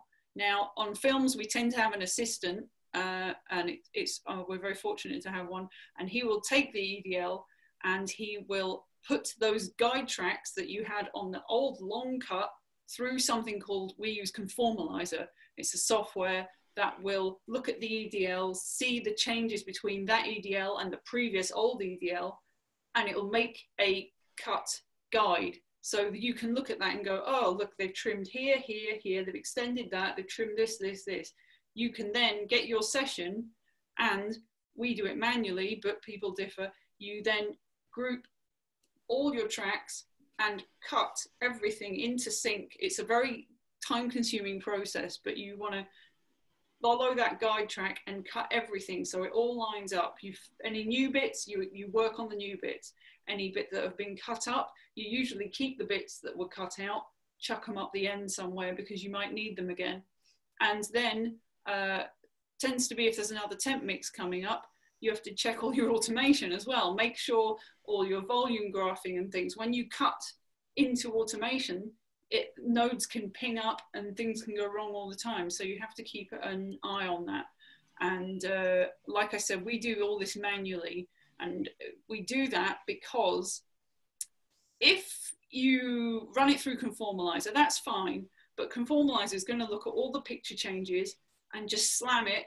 All your all your regions are going to get all cut up, and that's not necessarily what's happening to the dialogue the dialogue doesn't just move wherever the picture moves because some people uh, do a two shot and then they cut to a wide shot, but they kept the audio from the two shot. Do you see what I mean? So although that picture's changed, the dialogue might not have changed and conformalizer would just just crap all over that and cut it all up. So you don't want to do that. Really, you want to be as gentle as you can with it and see what they meant to do and what they overlapped. And the only way to do it properly is to do it manually. So that's what we all do. Yeah, so you, you're sort of just comparing the new AF with the old AF, mm-hmm. and like a jigsaw, you like group all your session tracks with the old AF and go that bit moves to there, that bit moves to there, and as you say, they might have changed a take, so the audio's changed, but the picture take hasn't changed. And Conformalizer would see, oh, it's a new picture, just get rid of that. Whereas you know, because you can see in their new AF, it hasn't changed, so you can just leave it. So it's just like cutting up and moving it around like a jigsaw. Each bit, um, you just make the old AF look like the new one and work on the bits in between, which are new. But that could be, we have times when they're every two or three weeks, those temp mixes. So you have this really hard push to the temp mix, and then it goes down for a week, and then it ramps up again. And that can go on for months and months. Um, and that's a lot of our work where you might do six weeks hard push at the start, get through the whole film editing, and then spend three months just recutting, not doing very much creative apart from maybe shooting some ADR. I would add that it's uh, yeah, it's a laborious um, process, and you have to be really careful that you don't change things from the new guide track, and things can slip through because it just looks identical on the guide track, but it's slightly different. So you've got to you've got to be careful. I gonna admit online to my peers, I like the process of recutting. I have a I, I agree. I quite like it. It's like playing Tetris and I yeah, just love it. You pull it, and, and sometimes I'll go to sleep just moving these blobs in my mind in sync with each other, and I actually get a kick out of it. But I think, as Rachael said, a very good tip is to anything that you cut out, put it further down the timeline, because they will often, particularly on, be really trying different. It might go non-linear, so a scene that was there is suddenly now at the beginning, and you go, "Oh, it was cut out?"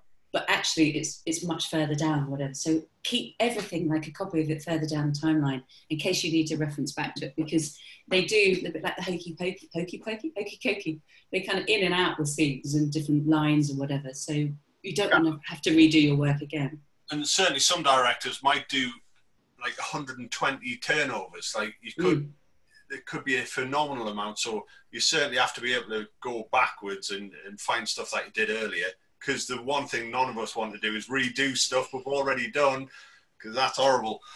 Um, it's weird though. I, you'll find in any one film there'll be a line of dialogue, maybe two or three, that change from one take to a different take, back to the take it was, back to the first alternative. But just they cannot make their minds up about this take, and it changes back and forth and back and forth. Every movie's got a take like that, and it just you just go, okay, well, I've got them both ready, and I know what whatever it is, and just what is what will it be this time? It just you just you just why can't they make the decision, but they can't.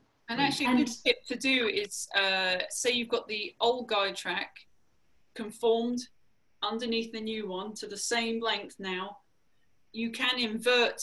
Simon, you were saying about this. You can invert the guide track against it, and anything that is different between those will show up as yeah. a as a new uh, so if you've got a long stretch where for five minutes, in theory, there were no cuts, and so the guide track's identical, if you phase invert them, you can go, oh, sneaky, it's not identical. They've changed something here, and you go and look and go, oh, look, they just added a little extra line of ADR, or they've just done a little something there, and you can you can you can work that out, which would probably be irrelevant to the sound effects department, but to you, it's like if you like that's our job is keeping track of them adding those lines and no one you won't get like a memo we've added a line here. You've mm. just got to find it in the guide track. You've just got to listen to that guide track. It's your bible. Yeah and even volume pushes. Say yeah. they got we've constantly feed uh, on our crew we constantly feed back how we're getting on back to the avid so uh, if I've done a conform, I'll bounce out everything in my in that reel as a mono and give it to them all the time put it in your Avid, put it in your Avid. So they're working with your actual sounds, getting used to what you've done, all your alts, all your cleanup. And that means that if they say, oh, you know what, those those scenes there need to be 2 dB louder, they do that. And the next time I get it back from them in the AAF, I'll I'll um, do that as well to mine. I'll put mine up 2 dB. So next time they're back to zero. And we just do this roundabout thing. Anything they've changed, I copy, send back to them. And it You means would do that, Rachael, for as little as 2 dB? yeah, uh, not for that, but when we next bounce, it will be included. Huh. Yeah, yeah. I like to do an idiot check, I call it, um, before any temp mix or pre-mix or final, where I get my session, I play um, the guide track, the production dialogue guide track from the cutting room out the left speaker, route all my tracks out the right speaker, press play and just sit and listen. And if it's the same as it should be, everything comes out the middle. As soon as, say, I might have messed up a recut, be a frame out or whatever, or I've forgotten a line, it jumps out really obviously. So you just wake up and go, oh, I've missed something. And it's amazing how many times you'll realize you've cut something out where you didn't mean to. Could just be as little as a breath or something, but you just want to again make sure in a final mix that's getting a bit tense, someone shouts, Why is that line or that breath or whatever? Why is that not there? It's just another kind of safety net. And that's all we're doing is is sort of helping us um, kind of get everything that they want and make sure nothing's missing. Uh, but yeah, idiot check works well. Um, okay, so Becki, we've got the finished tracks now. We've got everything assembled. We've got all the ADR. Oh no, uh, Simon, you, done the crowd yet. you were going to talk about crowd. Ah, Oh, yeah, yeah. I missed that bit. So I'll quickly talk about crowd. I, I, I won't spend too long because we've been rabbiting on. But um, crowd uh, is also called loop group, and it's basically getting a load of people in a room and recording whatever you like.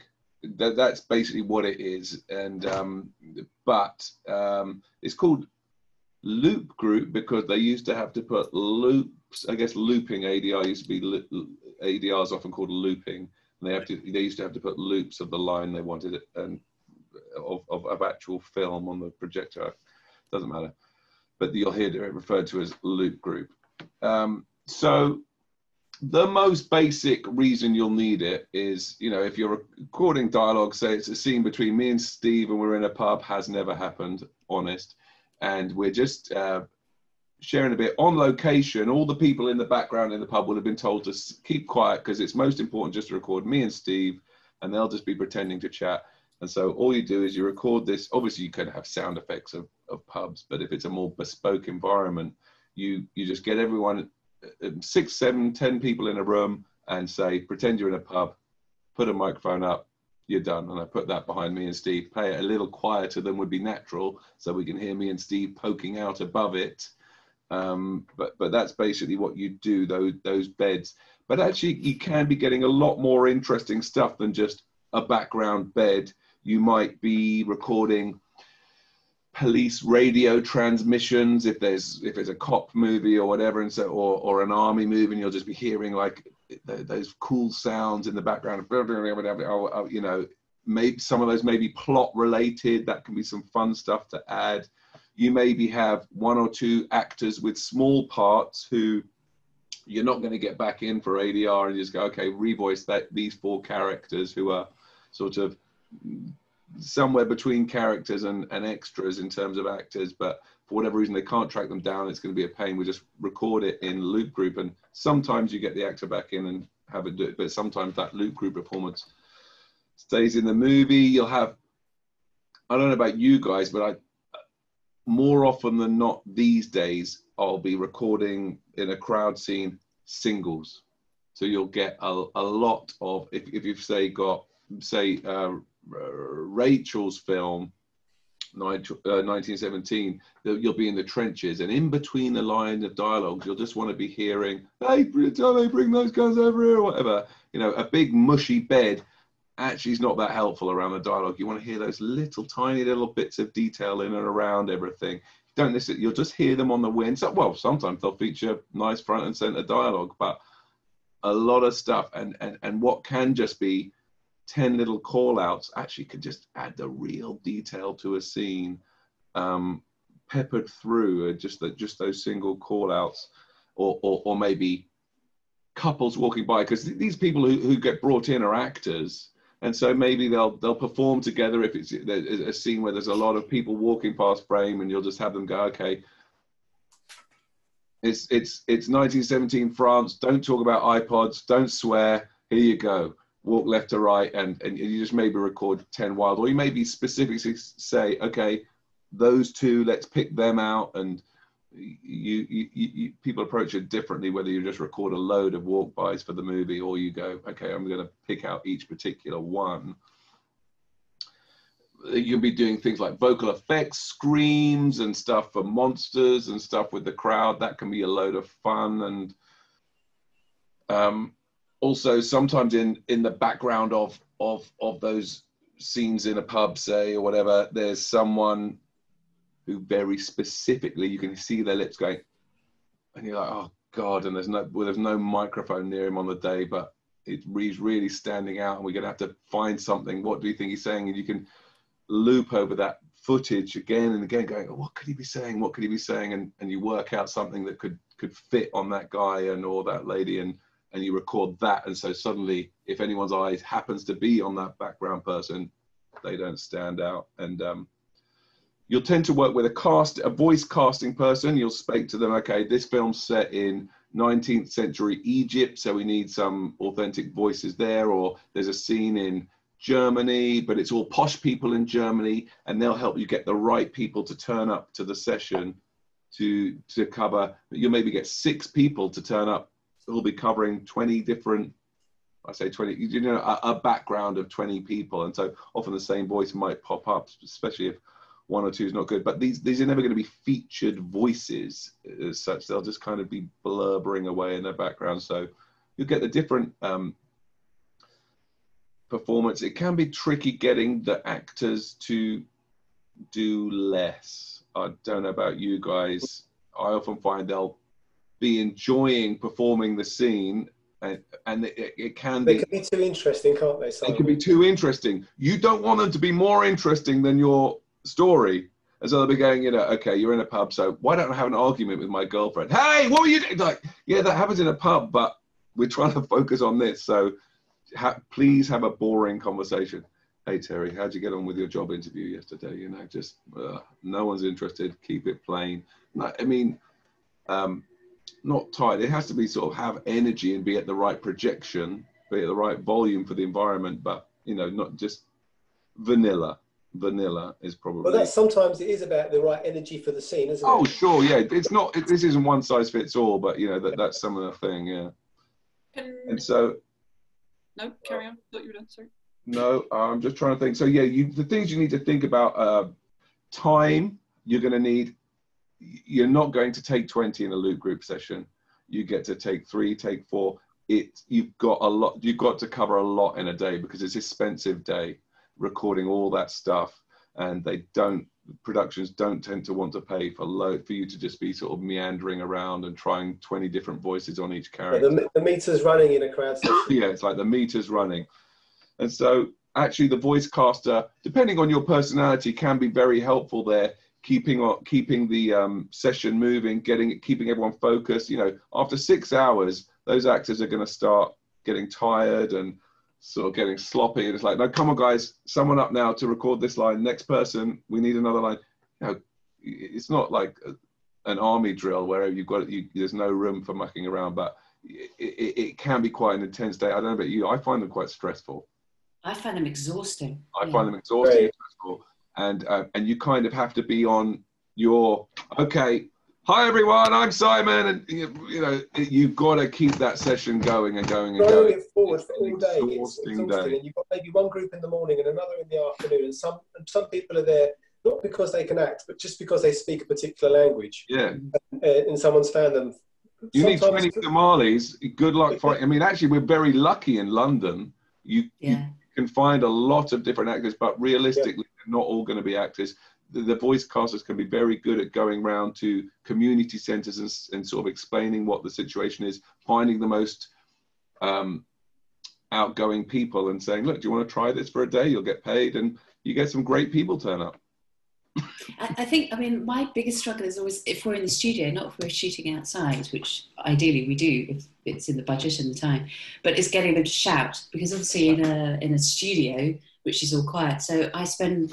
I tend to boom a lot of it myself, so I'm in with the crowd. And as you said, Simon, you know, you're getting singles, so you're just going round and round, getting wild tracks of people shouting, and some people just won't do it. So Oh. I'm shouting at them, louder, and louder, and just like that. and you said, by the end of the day, I'm just absolutely whacked out.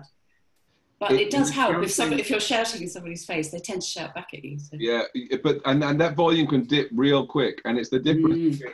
Hey, I need some help here. I mean, that sounds pretty loud. Hey, I need some help here. Well, that's even louder. I mean, sometimes it needs to be that. It needs does. to be that, and and and and two down from that sucks. Sounds Yeah. boring. Yeah, You need to go to eleven. It's Spinal Tap time. yeah. And you said cajoling them into doing that, it, Yeah. it takes a lot of work. Yeah. So I have Sorry, an guys. example, if that helps. Oh yes, Rachael. Yeah. Because I made it, I got. I want to show it. I learned iMovie. okay, so uh, this is surprise, surprise, 1917. I just want to show you. Let me share my screen. Uh, this uh, is the final clip, and then I'll talk about it afterwards.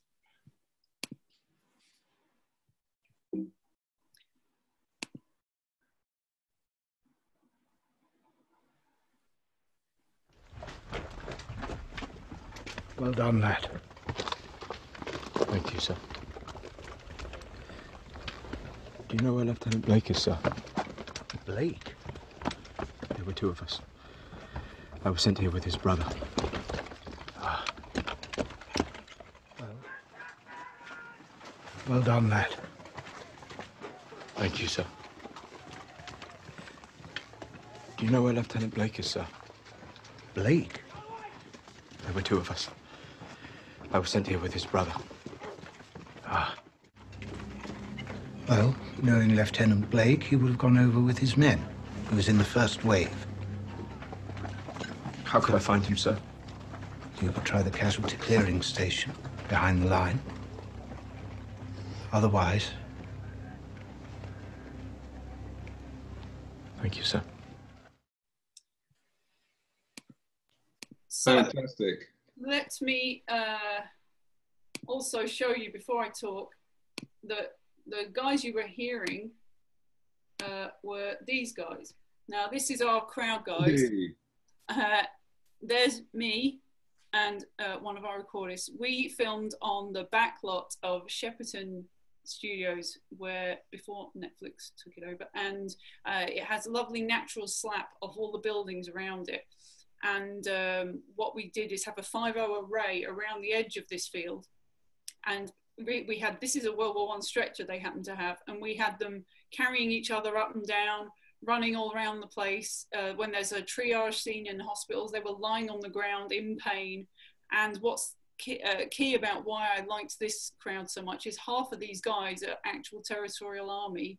So Nice. although we have the voice actors who give it the projection and the performance we need, uh, you've got the real. Some of these are medics, even trained guys who they they know how to be military, and sometimes it helps to blend half actors and half non-actors um, if you can. Uh, you, get lucky sometimes more than others, but uh, these guys were great, and it was the hottest day of the year, and they were exhausted.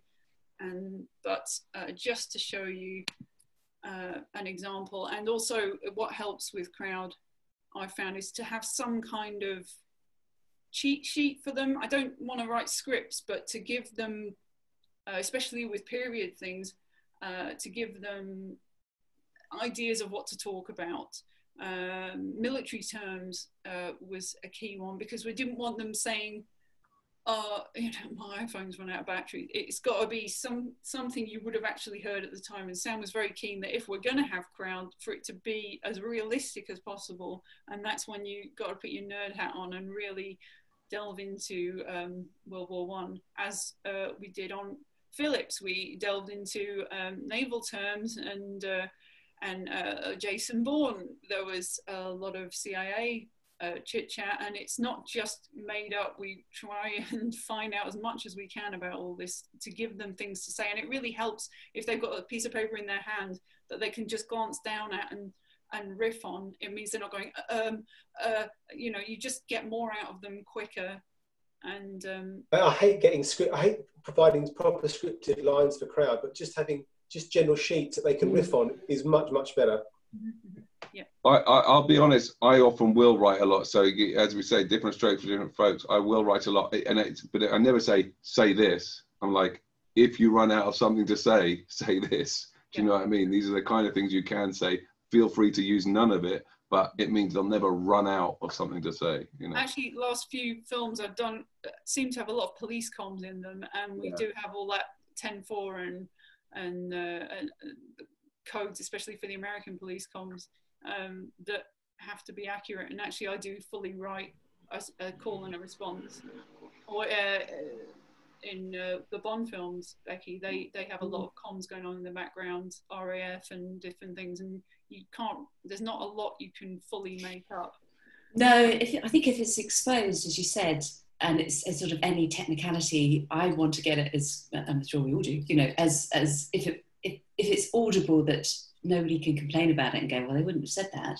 So to mm. actually kind of again sort of cover your back really to make sure that it is, but also that you know I want to make it realistic that it is what they would have said. You know, on Darkest Hour we actually researched what was being said on those different days where in the in war rooms what was happening, what people would be talking about, which battles and you know strategies and stuff. So it, that actually made it a lot easier to do crowd that was um, believable and that you didn't worry. Because you know sometimes you have to cut out quite a lot of rubbish that people are saying because it's audible and you're like oh god they're talking about their auntie joan or something. Whereas if you can actually have it written down in you know in particular instances then you know what is said is true and if you can hear it and i think it helps the actor sometimes. I mean obviously as we said it totally depends on what the scene is. The best and, as we saw in rachael's great clip i love the sound of it and um, you're not really necessarily picking out anything, but you just have that confidence that if anything yeah. does come out, you go, yeah. okay, it's it's the right stuff. But mm. those voices on the wind, you know, that that's a classic. Yeah, and you might have ordinarily you might have done all breaths for the guys running past and yeah. over here, come on, let's go. You you might have covered all that, but I knew with that director, with those clients, they don't want your right then. He's just running. On the situation, yeah. That's a really calm, sad moment he, they just want to hear these guys, but you don't want the world outside to stop. So you've got to have, a, a, you've got to paint a certain color to it without going, what's that, what's that, you know. So it's a fine balance. Uh, right, uh, 10 past nine. Um, I think we have chatted a bit. Um, I think we'll skip the bit about the pre-mix and final other than to say we then go through a pre-mix and a final mix, yeah, uh, where all the departments come together and we um, make the final track. So, uh, could I ask everyone what are your what are the real pressure points or uh, times when there's most friction, and how do you deal with them? Kallis, I'll go with you first. Well, it's going to be in the ADR studio, I get, you know, isn't it? That's the only place where there's going to be conflict for me. Um, so yeah, just if if a, if an actor doesn't want to do ADR and we really want to get it, then then there's a lot. Of, you can spend a session spending more time talking about it than doing it. So uh, something like that. That or if somebody has made a performance note that uh, maybe they, they shouldn't have, that's that's an, that's an issue. They have to be very careful to make sure that your that any notes that you're making are, are, warranted and wanted as well. So yeah, you have to you have to just take temperature of the room. That's that's that's the place where it's it's very dodgy, I think. Yeah, and Rachael. Uh, weirdly, I, I often have tension with the Foley editor because. Uh, what, Hugo? any, there is only one, isn't there? Uh, because they often want you to move their PF, your PFX, the real stuff, to fit their feet uh, that they've recorded, which is might be Hugo specific, I don't know. But um, I find that often you're like, yeah, but this is the real sound, and so you might have a little battle with um, the guys on the other side of the room as to no, no, no, this is how that cut sounded when he put it, slammed it down on the ground, even though yours has got a nice toppy element. So you can have a little friction there, but usually you just mute yours and go with that. and Simon. Uh, oh, I don't know. I- We've all talked about the ADR and those those things. I, I, I don't know. I think it's trying to, um, you know, maybe I'm missing an element, but you've got that sound quality. You know, does it sound nice? You've got the performance of the actor, and you've got the clarity of the words. Can we hear what they're saying? And it's like three dials, and there's just no correct setting and it's and it's negotiating with all the people you're trying to who who, who have who, who have an opinion and uh, who ultimately the, the director but it's you know you'll you'll be playing it to your peers the sound supervisor the mixer. So many different people will go no eh, that's a bit too you've cleaned it up too much or that's still sounding too mucky or whatever. You'll have your own opinion and it's it's just kind of okay how can we get every, everyone happy and just get it so that it's just right between those those elements that you know ideally it's perfect on all three it never is so you just kind of okay well Especially if says that. we're in, in the room with one of those clients who says they do something, make it louder, and then the other client comes Yeah. in and goes, Why is it louder? And they and go, it's subjective yeah yeah, yeah. And don't. Sometimes it's tricky. Yeah. And Becki. becki Becki. she's gone She's gone, and she. Becki. Gone, um, everything's gone quiet here. Hold minute, let me try and work out what's going on. well i It's don't not know the why same. Becki. I'm going to leave and come back. Bye. okay cool see you soon Okay, uh, so the rest of you, um, what do you love most about your job? Rachael. Uh, I love most uh, the uh, the fact that uh, you're given this film by the director, and it's their baby most of the time. It's something that they treasure. It's their whole world for the past could have been three years, and they have a scene say that they thought was unsavable. They are stressing out because they're going to have to get this actor back in to redo it all over again and they really just loved it on the day and then you are able to go and you give it back to them and they go oh my god i can hear everything again it's amazing when you can save a little portion of their little baby for them it, it's, it's great i love i love surprising them that's what i like I'm back. Hello. Hey, Becki, can you hear us? I can hear you now. I don't know what happened there. Uh, so, uh, Becki, tell me what you love most about your job. Um, back to the thing you were saying earlier, um, Steve, about the invisibility of it.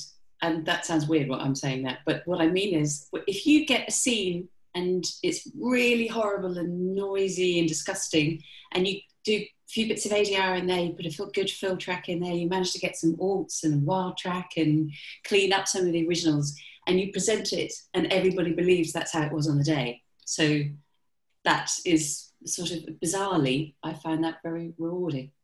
Um, I, I do really like uh, working with actors doing ADR, even if they're a bit tricky. And um, working, you know, in the final mix, working as part of a team, and we've all got our different roles, but everybody's vital to lead to that point. And um, yeah, I'd say those. Did I miss what everybody else said, or was I the first one? Uh, no. i said it was fun Ca- Kallis, how about you? Yeah, well, I, yeah, I like working in, with actors in the ADR studio. It's really great. It's quite a privilege sometimes to be in there with them. And and, and some, you know, when you've got really experienced actors, there isn't that much you need to do with them. But sometimes you've got somebody that isn't experienced, and just helping them to get through that and get something great out of them. That's really that's really rewarding. And then taking it taking it back to the to your edit, edit room and managing managing to get something that may say something that's very emotive with a lot of shouting and screaming, and you manage to get put that all together into something that's really good, and you can take that into the studio, into the mix. That's rewarding, I think. Uh, Simon. Well, when I um, come home and Susie says, Did you have a good day?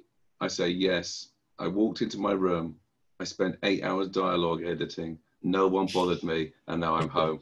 I love it. I just love it. It's just, you know, tinkering, as as the other guys have said, no one's ever going to know you've done this stuff. You've got to get your own satisfaction out of it. Sometimes they do. Sometimes you'll save a scene, but the more um, meat and potato, just fixing a scene so that it plays nice, and just like no one's ever going to ever mention it ever, and you just go, "But I love it. I just know I've made that sound nice, and and, and that's good." And sometimes in ADR, you have a stressful day, but you you've sure got stories to tell your friends, right? you, you, know, speaking as someone who's who's done a little bit of work on set, people go, "Oh, set's where all the action is, isn't it? You've got to get a job on set." I, I did it, and I've got to say, unless you love getting up at 5 a.m. and standing in the pouring rain at minus five degrees in a, a North Face jacket until 8, 9, 10 o'clock at night, with a bad back from holding up a boom as I was, uh, it, there's nothing better and more COVID era suitable than our jobs because uh, we get a room each. And like someone says, it's great to just put your head down and, and get on with it and, and uncover all these lovely dialogues that people thought were ruined. It's really rewarding. What about you, Steve?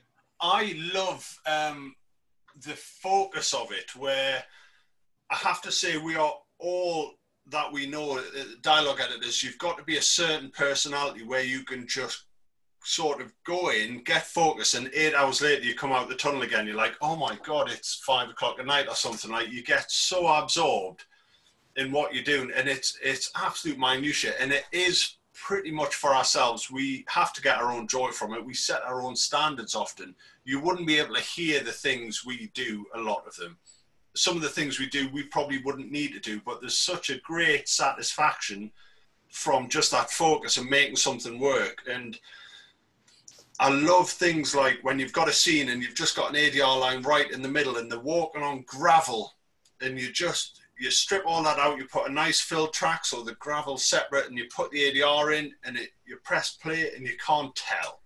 And the ADR's there and I think someone asked the question. Yes, we do use EQ Match on iZotope uh, occasionally. Sometimes the mixer does it, but it is a good tool. Most of the time, needs a fiddle.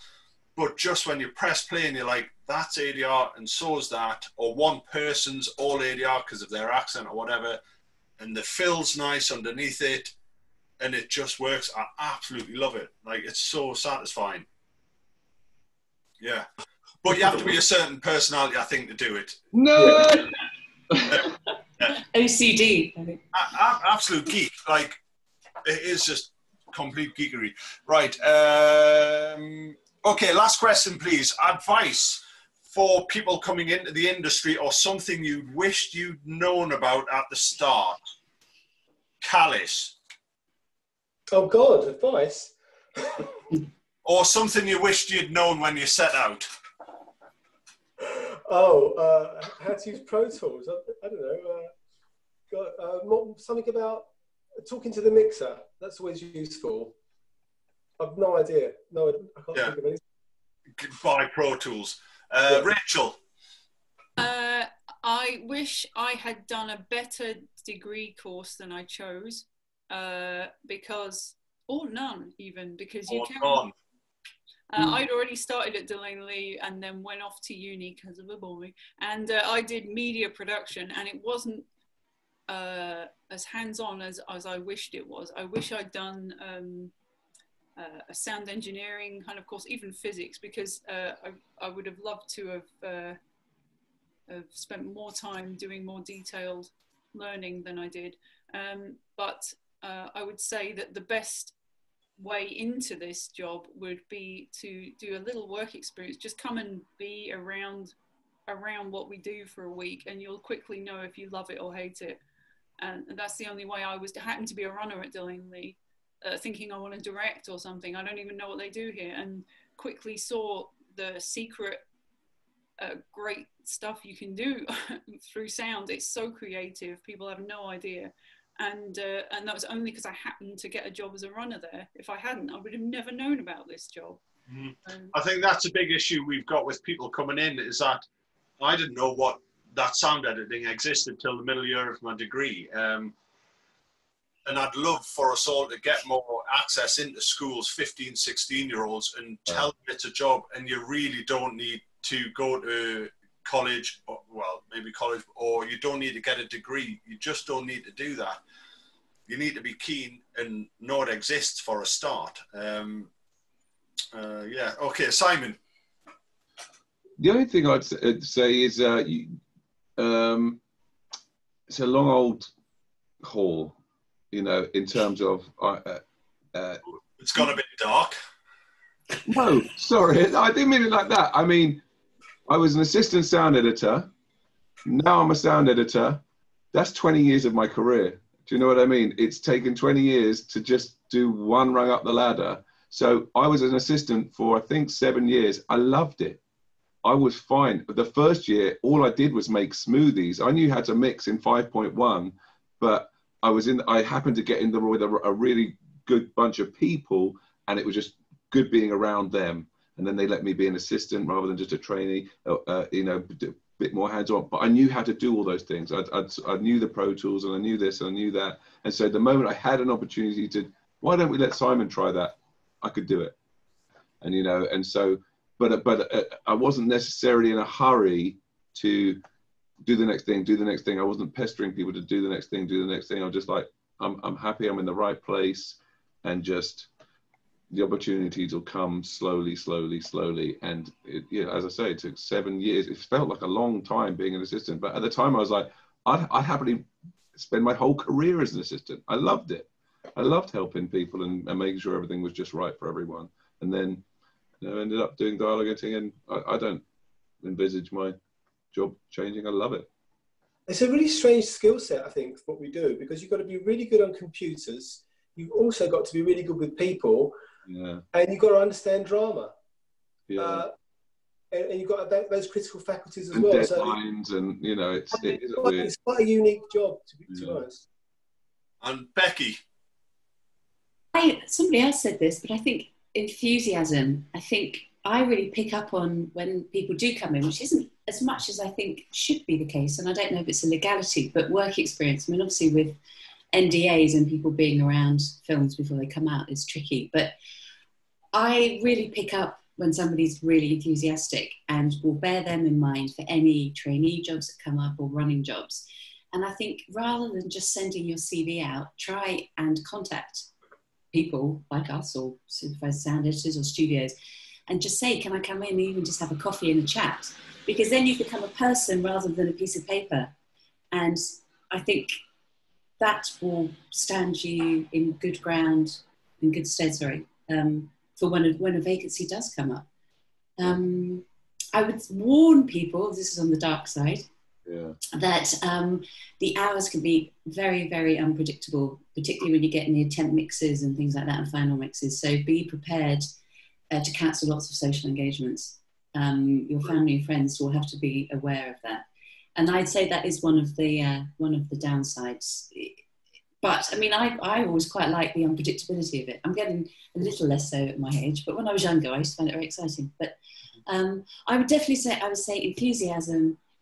I would agree with Steve that be careful of, particularly nowadays, getting into huge debt with a degree if it's really going to help you. Because I know from my own experience that I wouldn't necessarily somebody wouldn't necessarily jump over somebody who didn't have a degree in terms of the ladder. I'd say it was highly unlikely because we all we need you to have experience in our environment. Um, learn Pro Tools at home. Yeah. To that, um, Becki, is that I had no idea how to do any of this stuff until I did my degree. Yeah. You know what I mean? Yeah. So, or and I certainly had no contacts in the business, so wouldn't have even known who to contact, how to contact it. I wouldn't have looked at a list of credits and thought supervising sound editor. I, I just sure. have drawn a blank. So I think for some people, and certainly for me, college was was helpful. You know, it just yeah. got me like, okay, this is how it all works. But I think what I'm trying to trying to say is, I think sometimes people come out with a degree and think because they've spent all this money and done all this time that they will be able to go in above a runner, say, and it's like that isn't going to happen. You're going to still going to be a runner. So no, that, that that's that's what I meant earlier. Was like, yes, I'd learned all that stuff, but it didn't actually do me any good. But it did teach me the stuff. It's not like I didn't yeah, learn. Yeah, yeah. it was just useful in and of itself. But yeah, in terms of your career, nothing. Yeah, no but I think somebody else was it Rachael said, you know, sit in with people and watch what they do, be around, be around the environment as much as is possible. Yeah, and Um, we've had um, an offer of some people who would like to do work experience on the side panel here, so there you go. Okay. Oh, really? um, so uh, I would say no one's ever asked me even, did you get a degree or what did you get? I got a first, by the way, if anyone's interested. What? No one's Yeah, ever. I never knew that. Yeah, uh, let's see, and it doesn't make any difference. I went back to the same job that I had before I started, but that's just my opinion. What was your degree in? I don't even know what that was. Media production. Oh, media. production. So you just said that. Yeah. What about you, Steve? You got any advice for people? Uh, no, same thing. Um, don't worry too much about the courses. Just get um, get Pro Tools free. Get some cheap plugins. Get a, the cheapest recorder you can. You don't have to spend a lot of money on gizmos and kit. You really don't. If you're into sound effects, just start recording things. Record actual effects. Record atmospheres. Go on the train. Record people talking.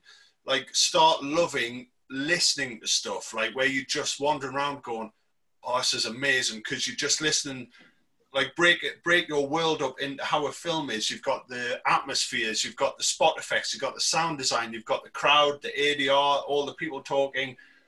Like try and identify each part while you're walking around and think, God, I wish I'd recorded those two people chatting over there because it's brilliant. They've got a really strong accent, and I love them. So Yeah. just just start doing it as much as you can record things edit things shoot your own foley for a film that's on the net um, uh, try and record some adr try and fit some adr like just try and start doing it.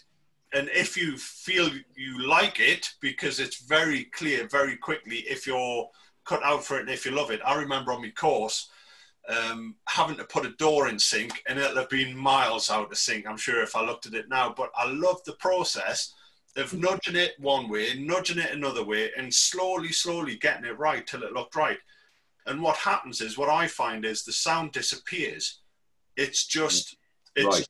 it's just the thing. The the door's closed, but you don't hear the door and see the door. It's just this one entity, and you very quickly work out if you've got a love for that or not.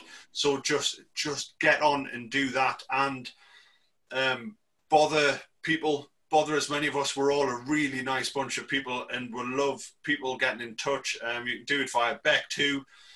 Um, uh, the website, uh, roughassembly.com, you can send um, me a message on there, the post sound section on there.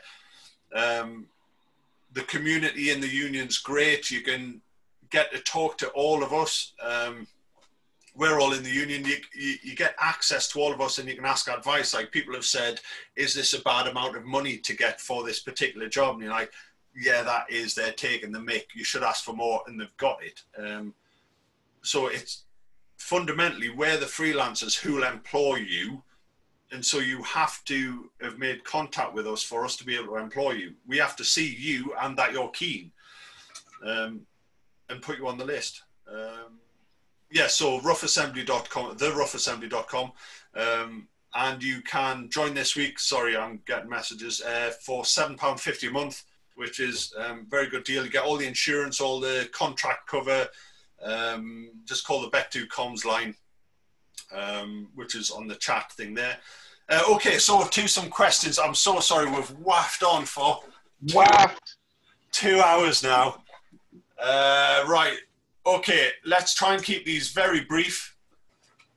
So, to the top, uh, oh, this isn't brief. What are the pet hates of dialogue editors in regard, regard to what they receive from production sound mixers on set? Let's keep it clean. We like everything. Um, Bad metadata. bad metadata, uh, noise, noise reduced microphones without a backup, without the noise reduction on, stuff like that. Uh, I'm a new sound editor. Uh, would like If someone's mixed, uh, m- someone mentioned it somewhere else in the tracks. Don't mix tracks. Oh, sorry, do a mixed track, but don't force us to use a mixed track. Unless, I mean, if you haven't got And, enough and pressure. don't, don't think we just use the mix track because there's no way that's going to be mix track. cleaner than us going in forensically. none, none of us have ever ever once used a mix track and I Right. think I think for all of us we need to set up more communication with the floor the production recordists We're because that more and more now. yeah yeah, we, we, haven't done it enough. Uh, someone's asked, how does phase align work? Um, not done that before. It's uh, uh, Sound Radix auto align post.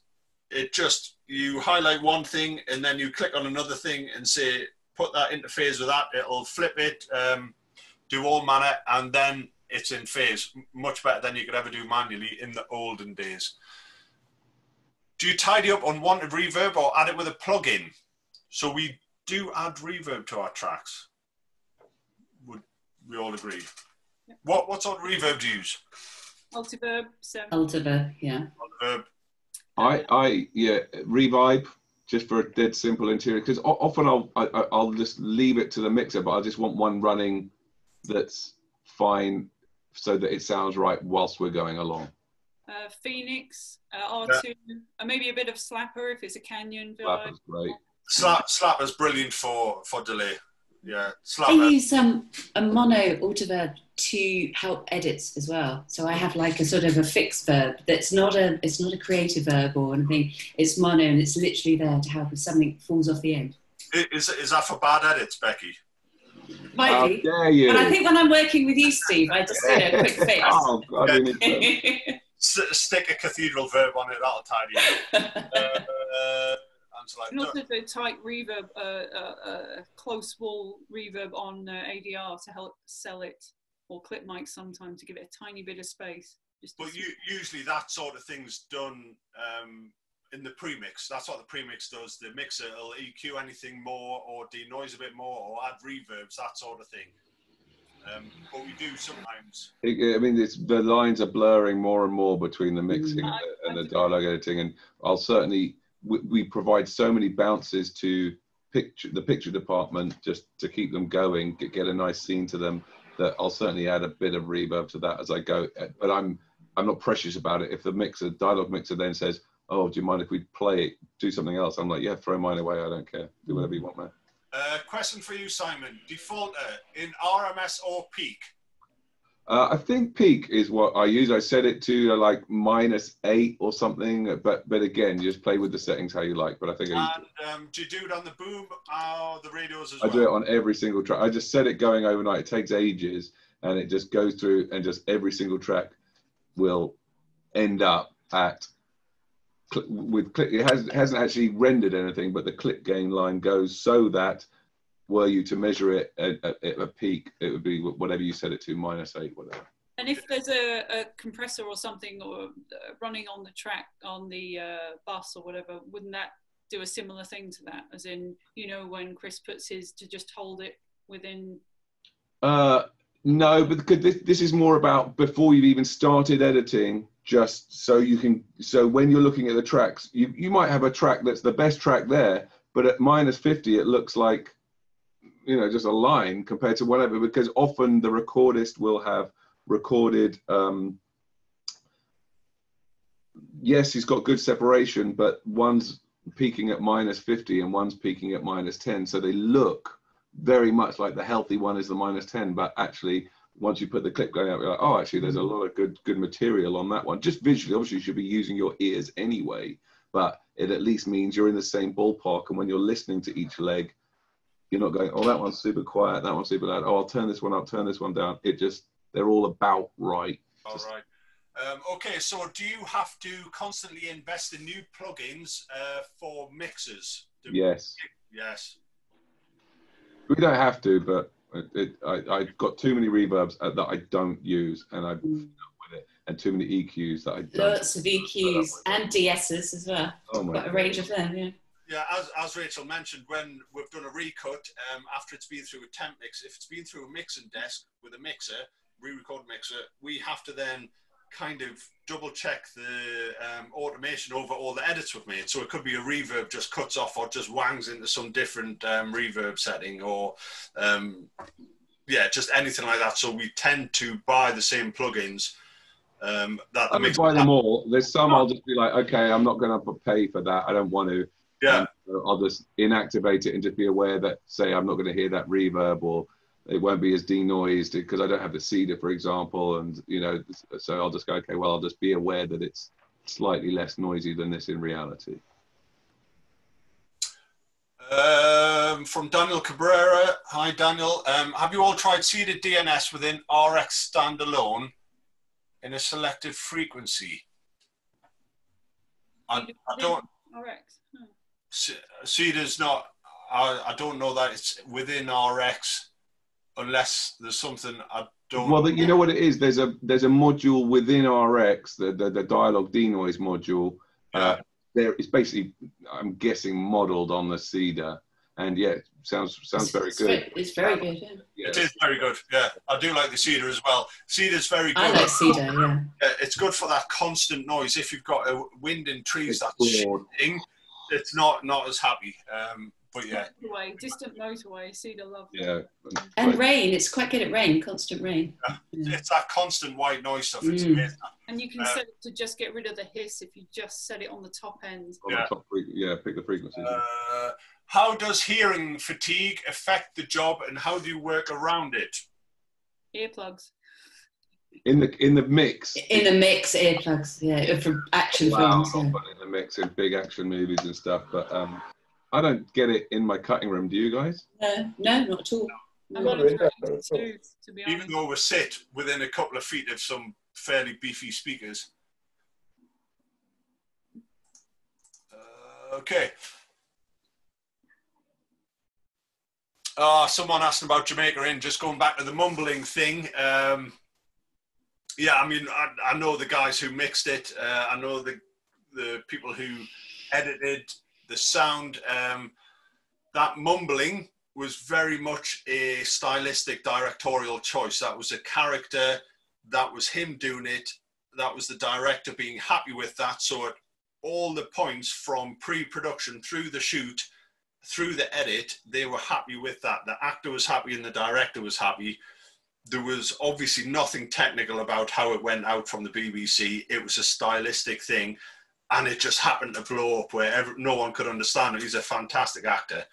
Um, yeah, no one could understand it. But it's the, the only thing I'd say about that is it is a team sport making a movie, and you've got a mumbling guy. The thing was the mic necessarily in the best possible place to pick up his mumbling here? You know, a microphone here compared to here. You know, did did those those people negotiate exactly the best way on the ADR stage? I remember I admitted getting one line of ADR out of 20 earlier this week. So I'm not saying they did. What I mean is, there's there's it's not it's never one thing.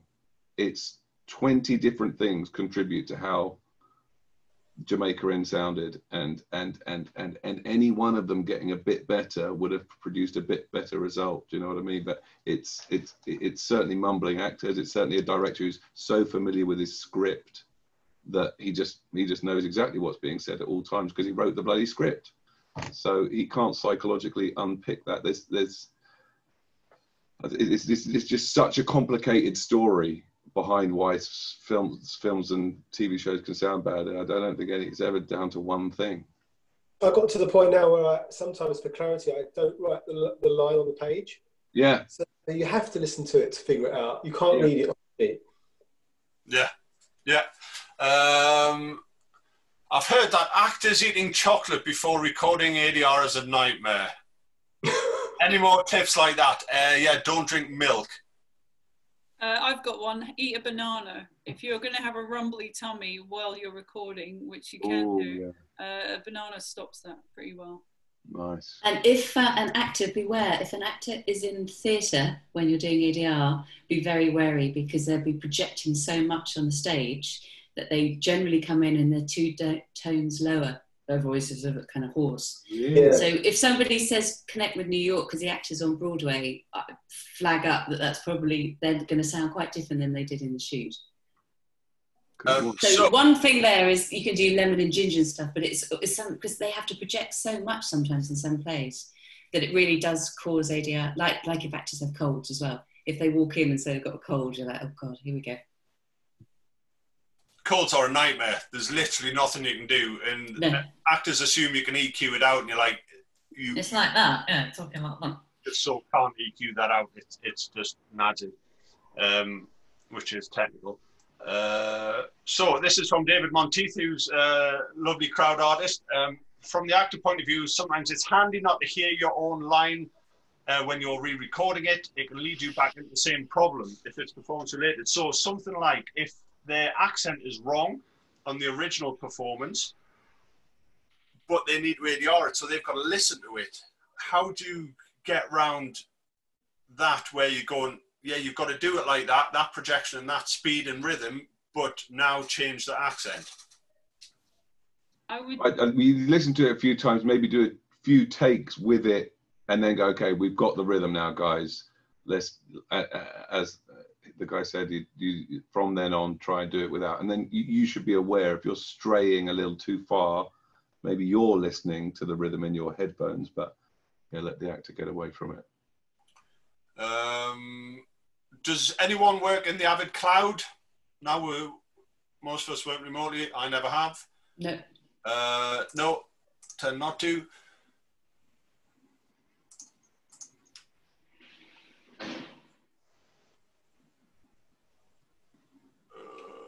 Uh, I can't the next clip. Uh, Rachael, how did you? What did you use to reduce the ambience noise on your 1917 clips? And how did you get rid of the static? Someone else asked. Yeah, the, the main noise problem on that was uh, crew feet because uh, unlike a lot of films where you might have the guys walking like they do, but then you might also do a wide shot, then you might have the camera at this end as they walk towards. So you've got other takes you can use. With that, it's just every single time they did it, and they did each take a lot, but every single time the crew is right with them. So you've got camera, uh, the assistant, the focus puller, uh, you might have um, the boom up down there as well. A lot of big muddy feet in the trenches with them. So that was my main uh, problem for denoising. And for that, I'm afraid I used Spectral on RX uh, uh, to actually see the muddy feet. I had to work out which ones were theirs.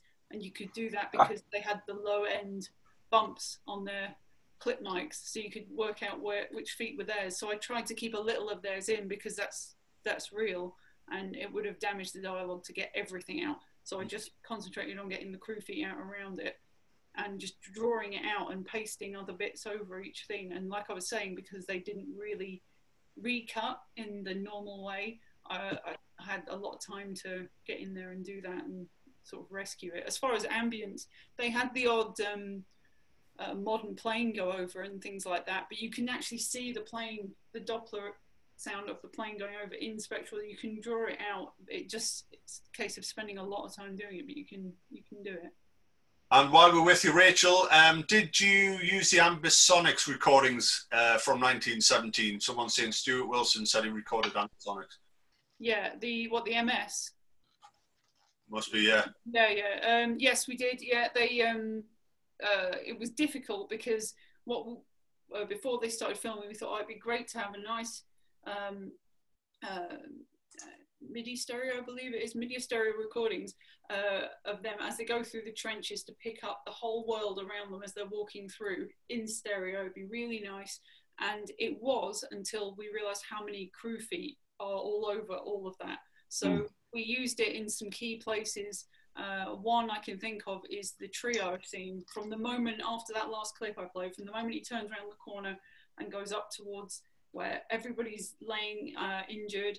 All, um, half of that is our crowd, but half of it is those extras actually doing the whole thing. So cool. that was all on lovely MS recordings, and that really uh, places the viewer right inside. Whereas the normal mono boom, it, it's just not as uh, engrossing. So that was useful. Descriptive. Uh, again. Kallis, um, how many ADR cues would you expect to get through in an hour or a day? Or does it vary wildly between productions or actors? It varies wildly, but if some you on, on the sheets you might come you might go say four four minutes a cue. If someone's good, it's going to be a lot faster than that. Uh, for crowd, uh, uh um, maybe six half a day. How many? Sixty and half a day. Yeah, yeah, that sounds about right. I mean, some, sometimes um, breaths can take a lot longer than you think because sometimes it just says one breath cue, but actually that's two minutes and it's quite detailed and it can take a long, take quite a long time. Um, okay, we've got to we've got to wrap up at ten. We've been two and a quarter hours, um, so let's just quickly whiz through. Uh, oh, recording ADR during lockdown. Uh, yeah, I've been using Clean Feed for Crowd. Um, uh, the studio has been sharing the picture on Zoom to all the crowd artists at their own homes, who've all got their own mics, preamps, um, and it's worked really well. Uh, send us an email if you need more details than that. Um, uh, while wild track dialogue on set, I think I'm fairly safe to say we never use it because they always get the words wrong and they don't give the right energy. I don't know about that. I, I, it often doesn't work, but not always. It's, sometimes it's useful. If it's say it's for a letter or a, vo- or, or voiceover and somebody's in the in the right Oh, zone. Yes, but if it's a scene with a conversation between Oh, two yeah. people, Not that's- if it's- As far as extra recordings on set goes, a really key thing if you're going to do a car engine or anything for the effects boys is do it in, at least in stereo because they won't use it if it's mono. Uh, it's really useful to get sometimes, but if it's mono, it's not as much use. Uh, David Monteith, yes, we send the entire Pro Tools sessions to um, the mix stage. Uh, if I've got time, I'll show you a session. I've got one prepared for that. Um, do you ever use playlists? never. Never. No, me either. Yeah, good. How many mics are used for ADR? Two mics. Uh, we covered some of this in one of the. Um, in, in, in remote now, I'm getting sessions where we've got three or sometimes four because because no one's going into the booth with the actors, no one's moving moving the mic. So now I'm getting sessions with three, maybe four mics. Okay. Very good. Uh, Mr. Diggins, good evening, sir. I bet you've gone by now. Um, Hi. uh, when you phase invert to check for changes, is it something you then check visually or do you listen? No, no. It, I mean, it should literally. Ca- I mean, if they've made no changes and it's just moved, it should cancel out to zero. So you'll you'll you'll see that you'll see a a little blob of audio, and um, you know it doesn't always work, but if you if it does cancel to zero, you can be sure nothing's changed. Okay, how does your pay work with the downtimes between temp mixes? We're still on the job. We're, we're still tweaking away. It's just it it's not as um, full on. Sometimes we get put on hiatus though. Yeah, it does happen. That between every every temp mix, which is a week off, which is yeah, Oh. rubbish. Yeah, yeah, yeah. Boot to the hiatus. Um, do you use uh, Wild Track Walla much if you if you get it and it's good? Yeah, hundred percent. Yeah, totally. Yeah. Picked up from someone else. Uh, someone talking about stripping out the atmos between the dialogue. Uh, that is that does sometimes happen, and you can hand over everything to the effects department. It could be moves or shash or feet or whatever, but we tend to just keep it all as PFX. Um, effects editors aren't as fastidious as us about keeping the stuff. So whenever I've given stuff, it suddenly goes missing, and you're like, "Where's that effect I gave you?" Oh, I replaced it, and you're like, "No, you can't." You know, yeah, you need it to make it work. need to Yeah. have the stuff. You're, so I just like to keep hold of it these days.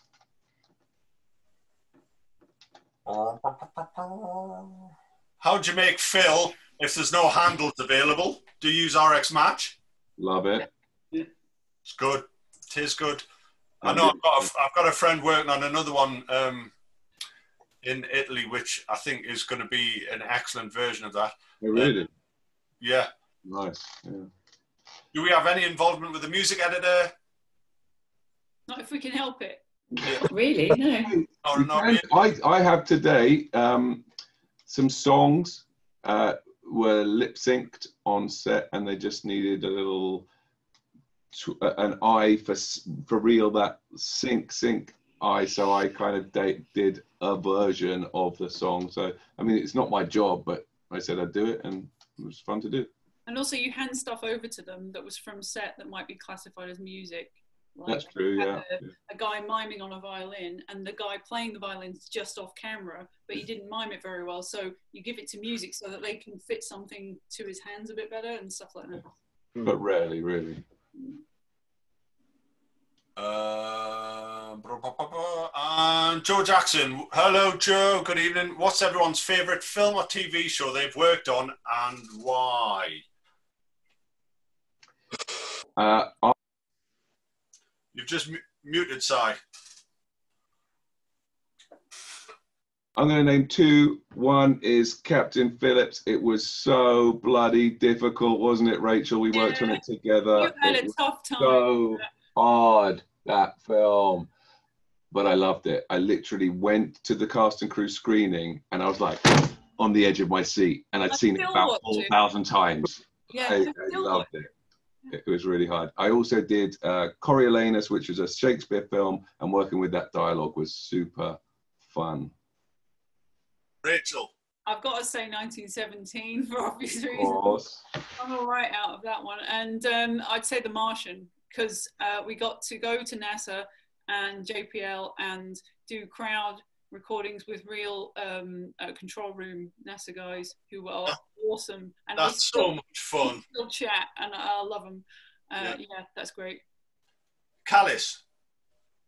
Oh, oh, I don't know. Don't, I have um, a, a long time ago, 1974, Red Riding. That was really that was really good. That was great. Yeah. I loved love Utopia as well. The dark humour in that. Um, the Crown obviously was great. I don't know, lots of stuff really. The, the, what, usually what I'm working on now, Yeah, that's true. I'm true. loving actually. Becki. Um, I would say Two Popes, which I did a couple of years ago, 18 months ago. Brilliant. Um, I because I love the script. As soon as I got the script, I loved the film. As soon as I saw it, and the team I was working with, the producer, director, editor, there was no egos. It was just a lovely, lovely team, and I got to go to Argentina. So that was great. Nice. Yeah. And then I would say Atonement is also up there because it was it was probably one of my first really big films that got a lot of attention and it was a great crew and I got to travel to LA quite a lot for that one as well. So yeah, those two. I think it it always like you'll never work on a really good film for for people who aren't so nice and then love that film. Like Mm. the team and the people behind you all feed into how much you love that film. Some some brilliant films you just can't watch again because of yeah, your memories are so bad. Yeah. various personalities or whatever. Um, uh, but like Simon, I just love the the ones where you work for lovely people. The films are great and it's really hard but satisfying, like brutally hard, like sort of just so much logistics and organising. Um, yeah, yeah, just the really tough ones to do. Um, Okay, uh, quick roundup. Sorry, we haven't got through all of the questions. There are a few left, but we've got to we've got to call it. Uh, thank you to everyone. It's been such good fun seeing you all and talking to you all. Thank you so much, everyone. Thanks so much for your time and um, take care, and we'll see you soon. Thank you. Yeah, thank bye you. bye, everybody. Well done, Thanks, everyone. Thank you. Bye bye. Bye bye.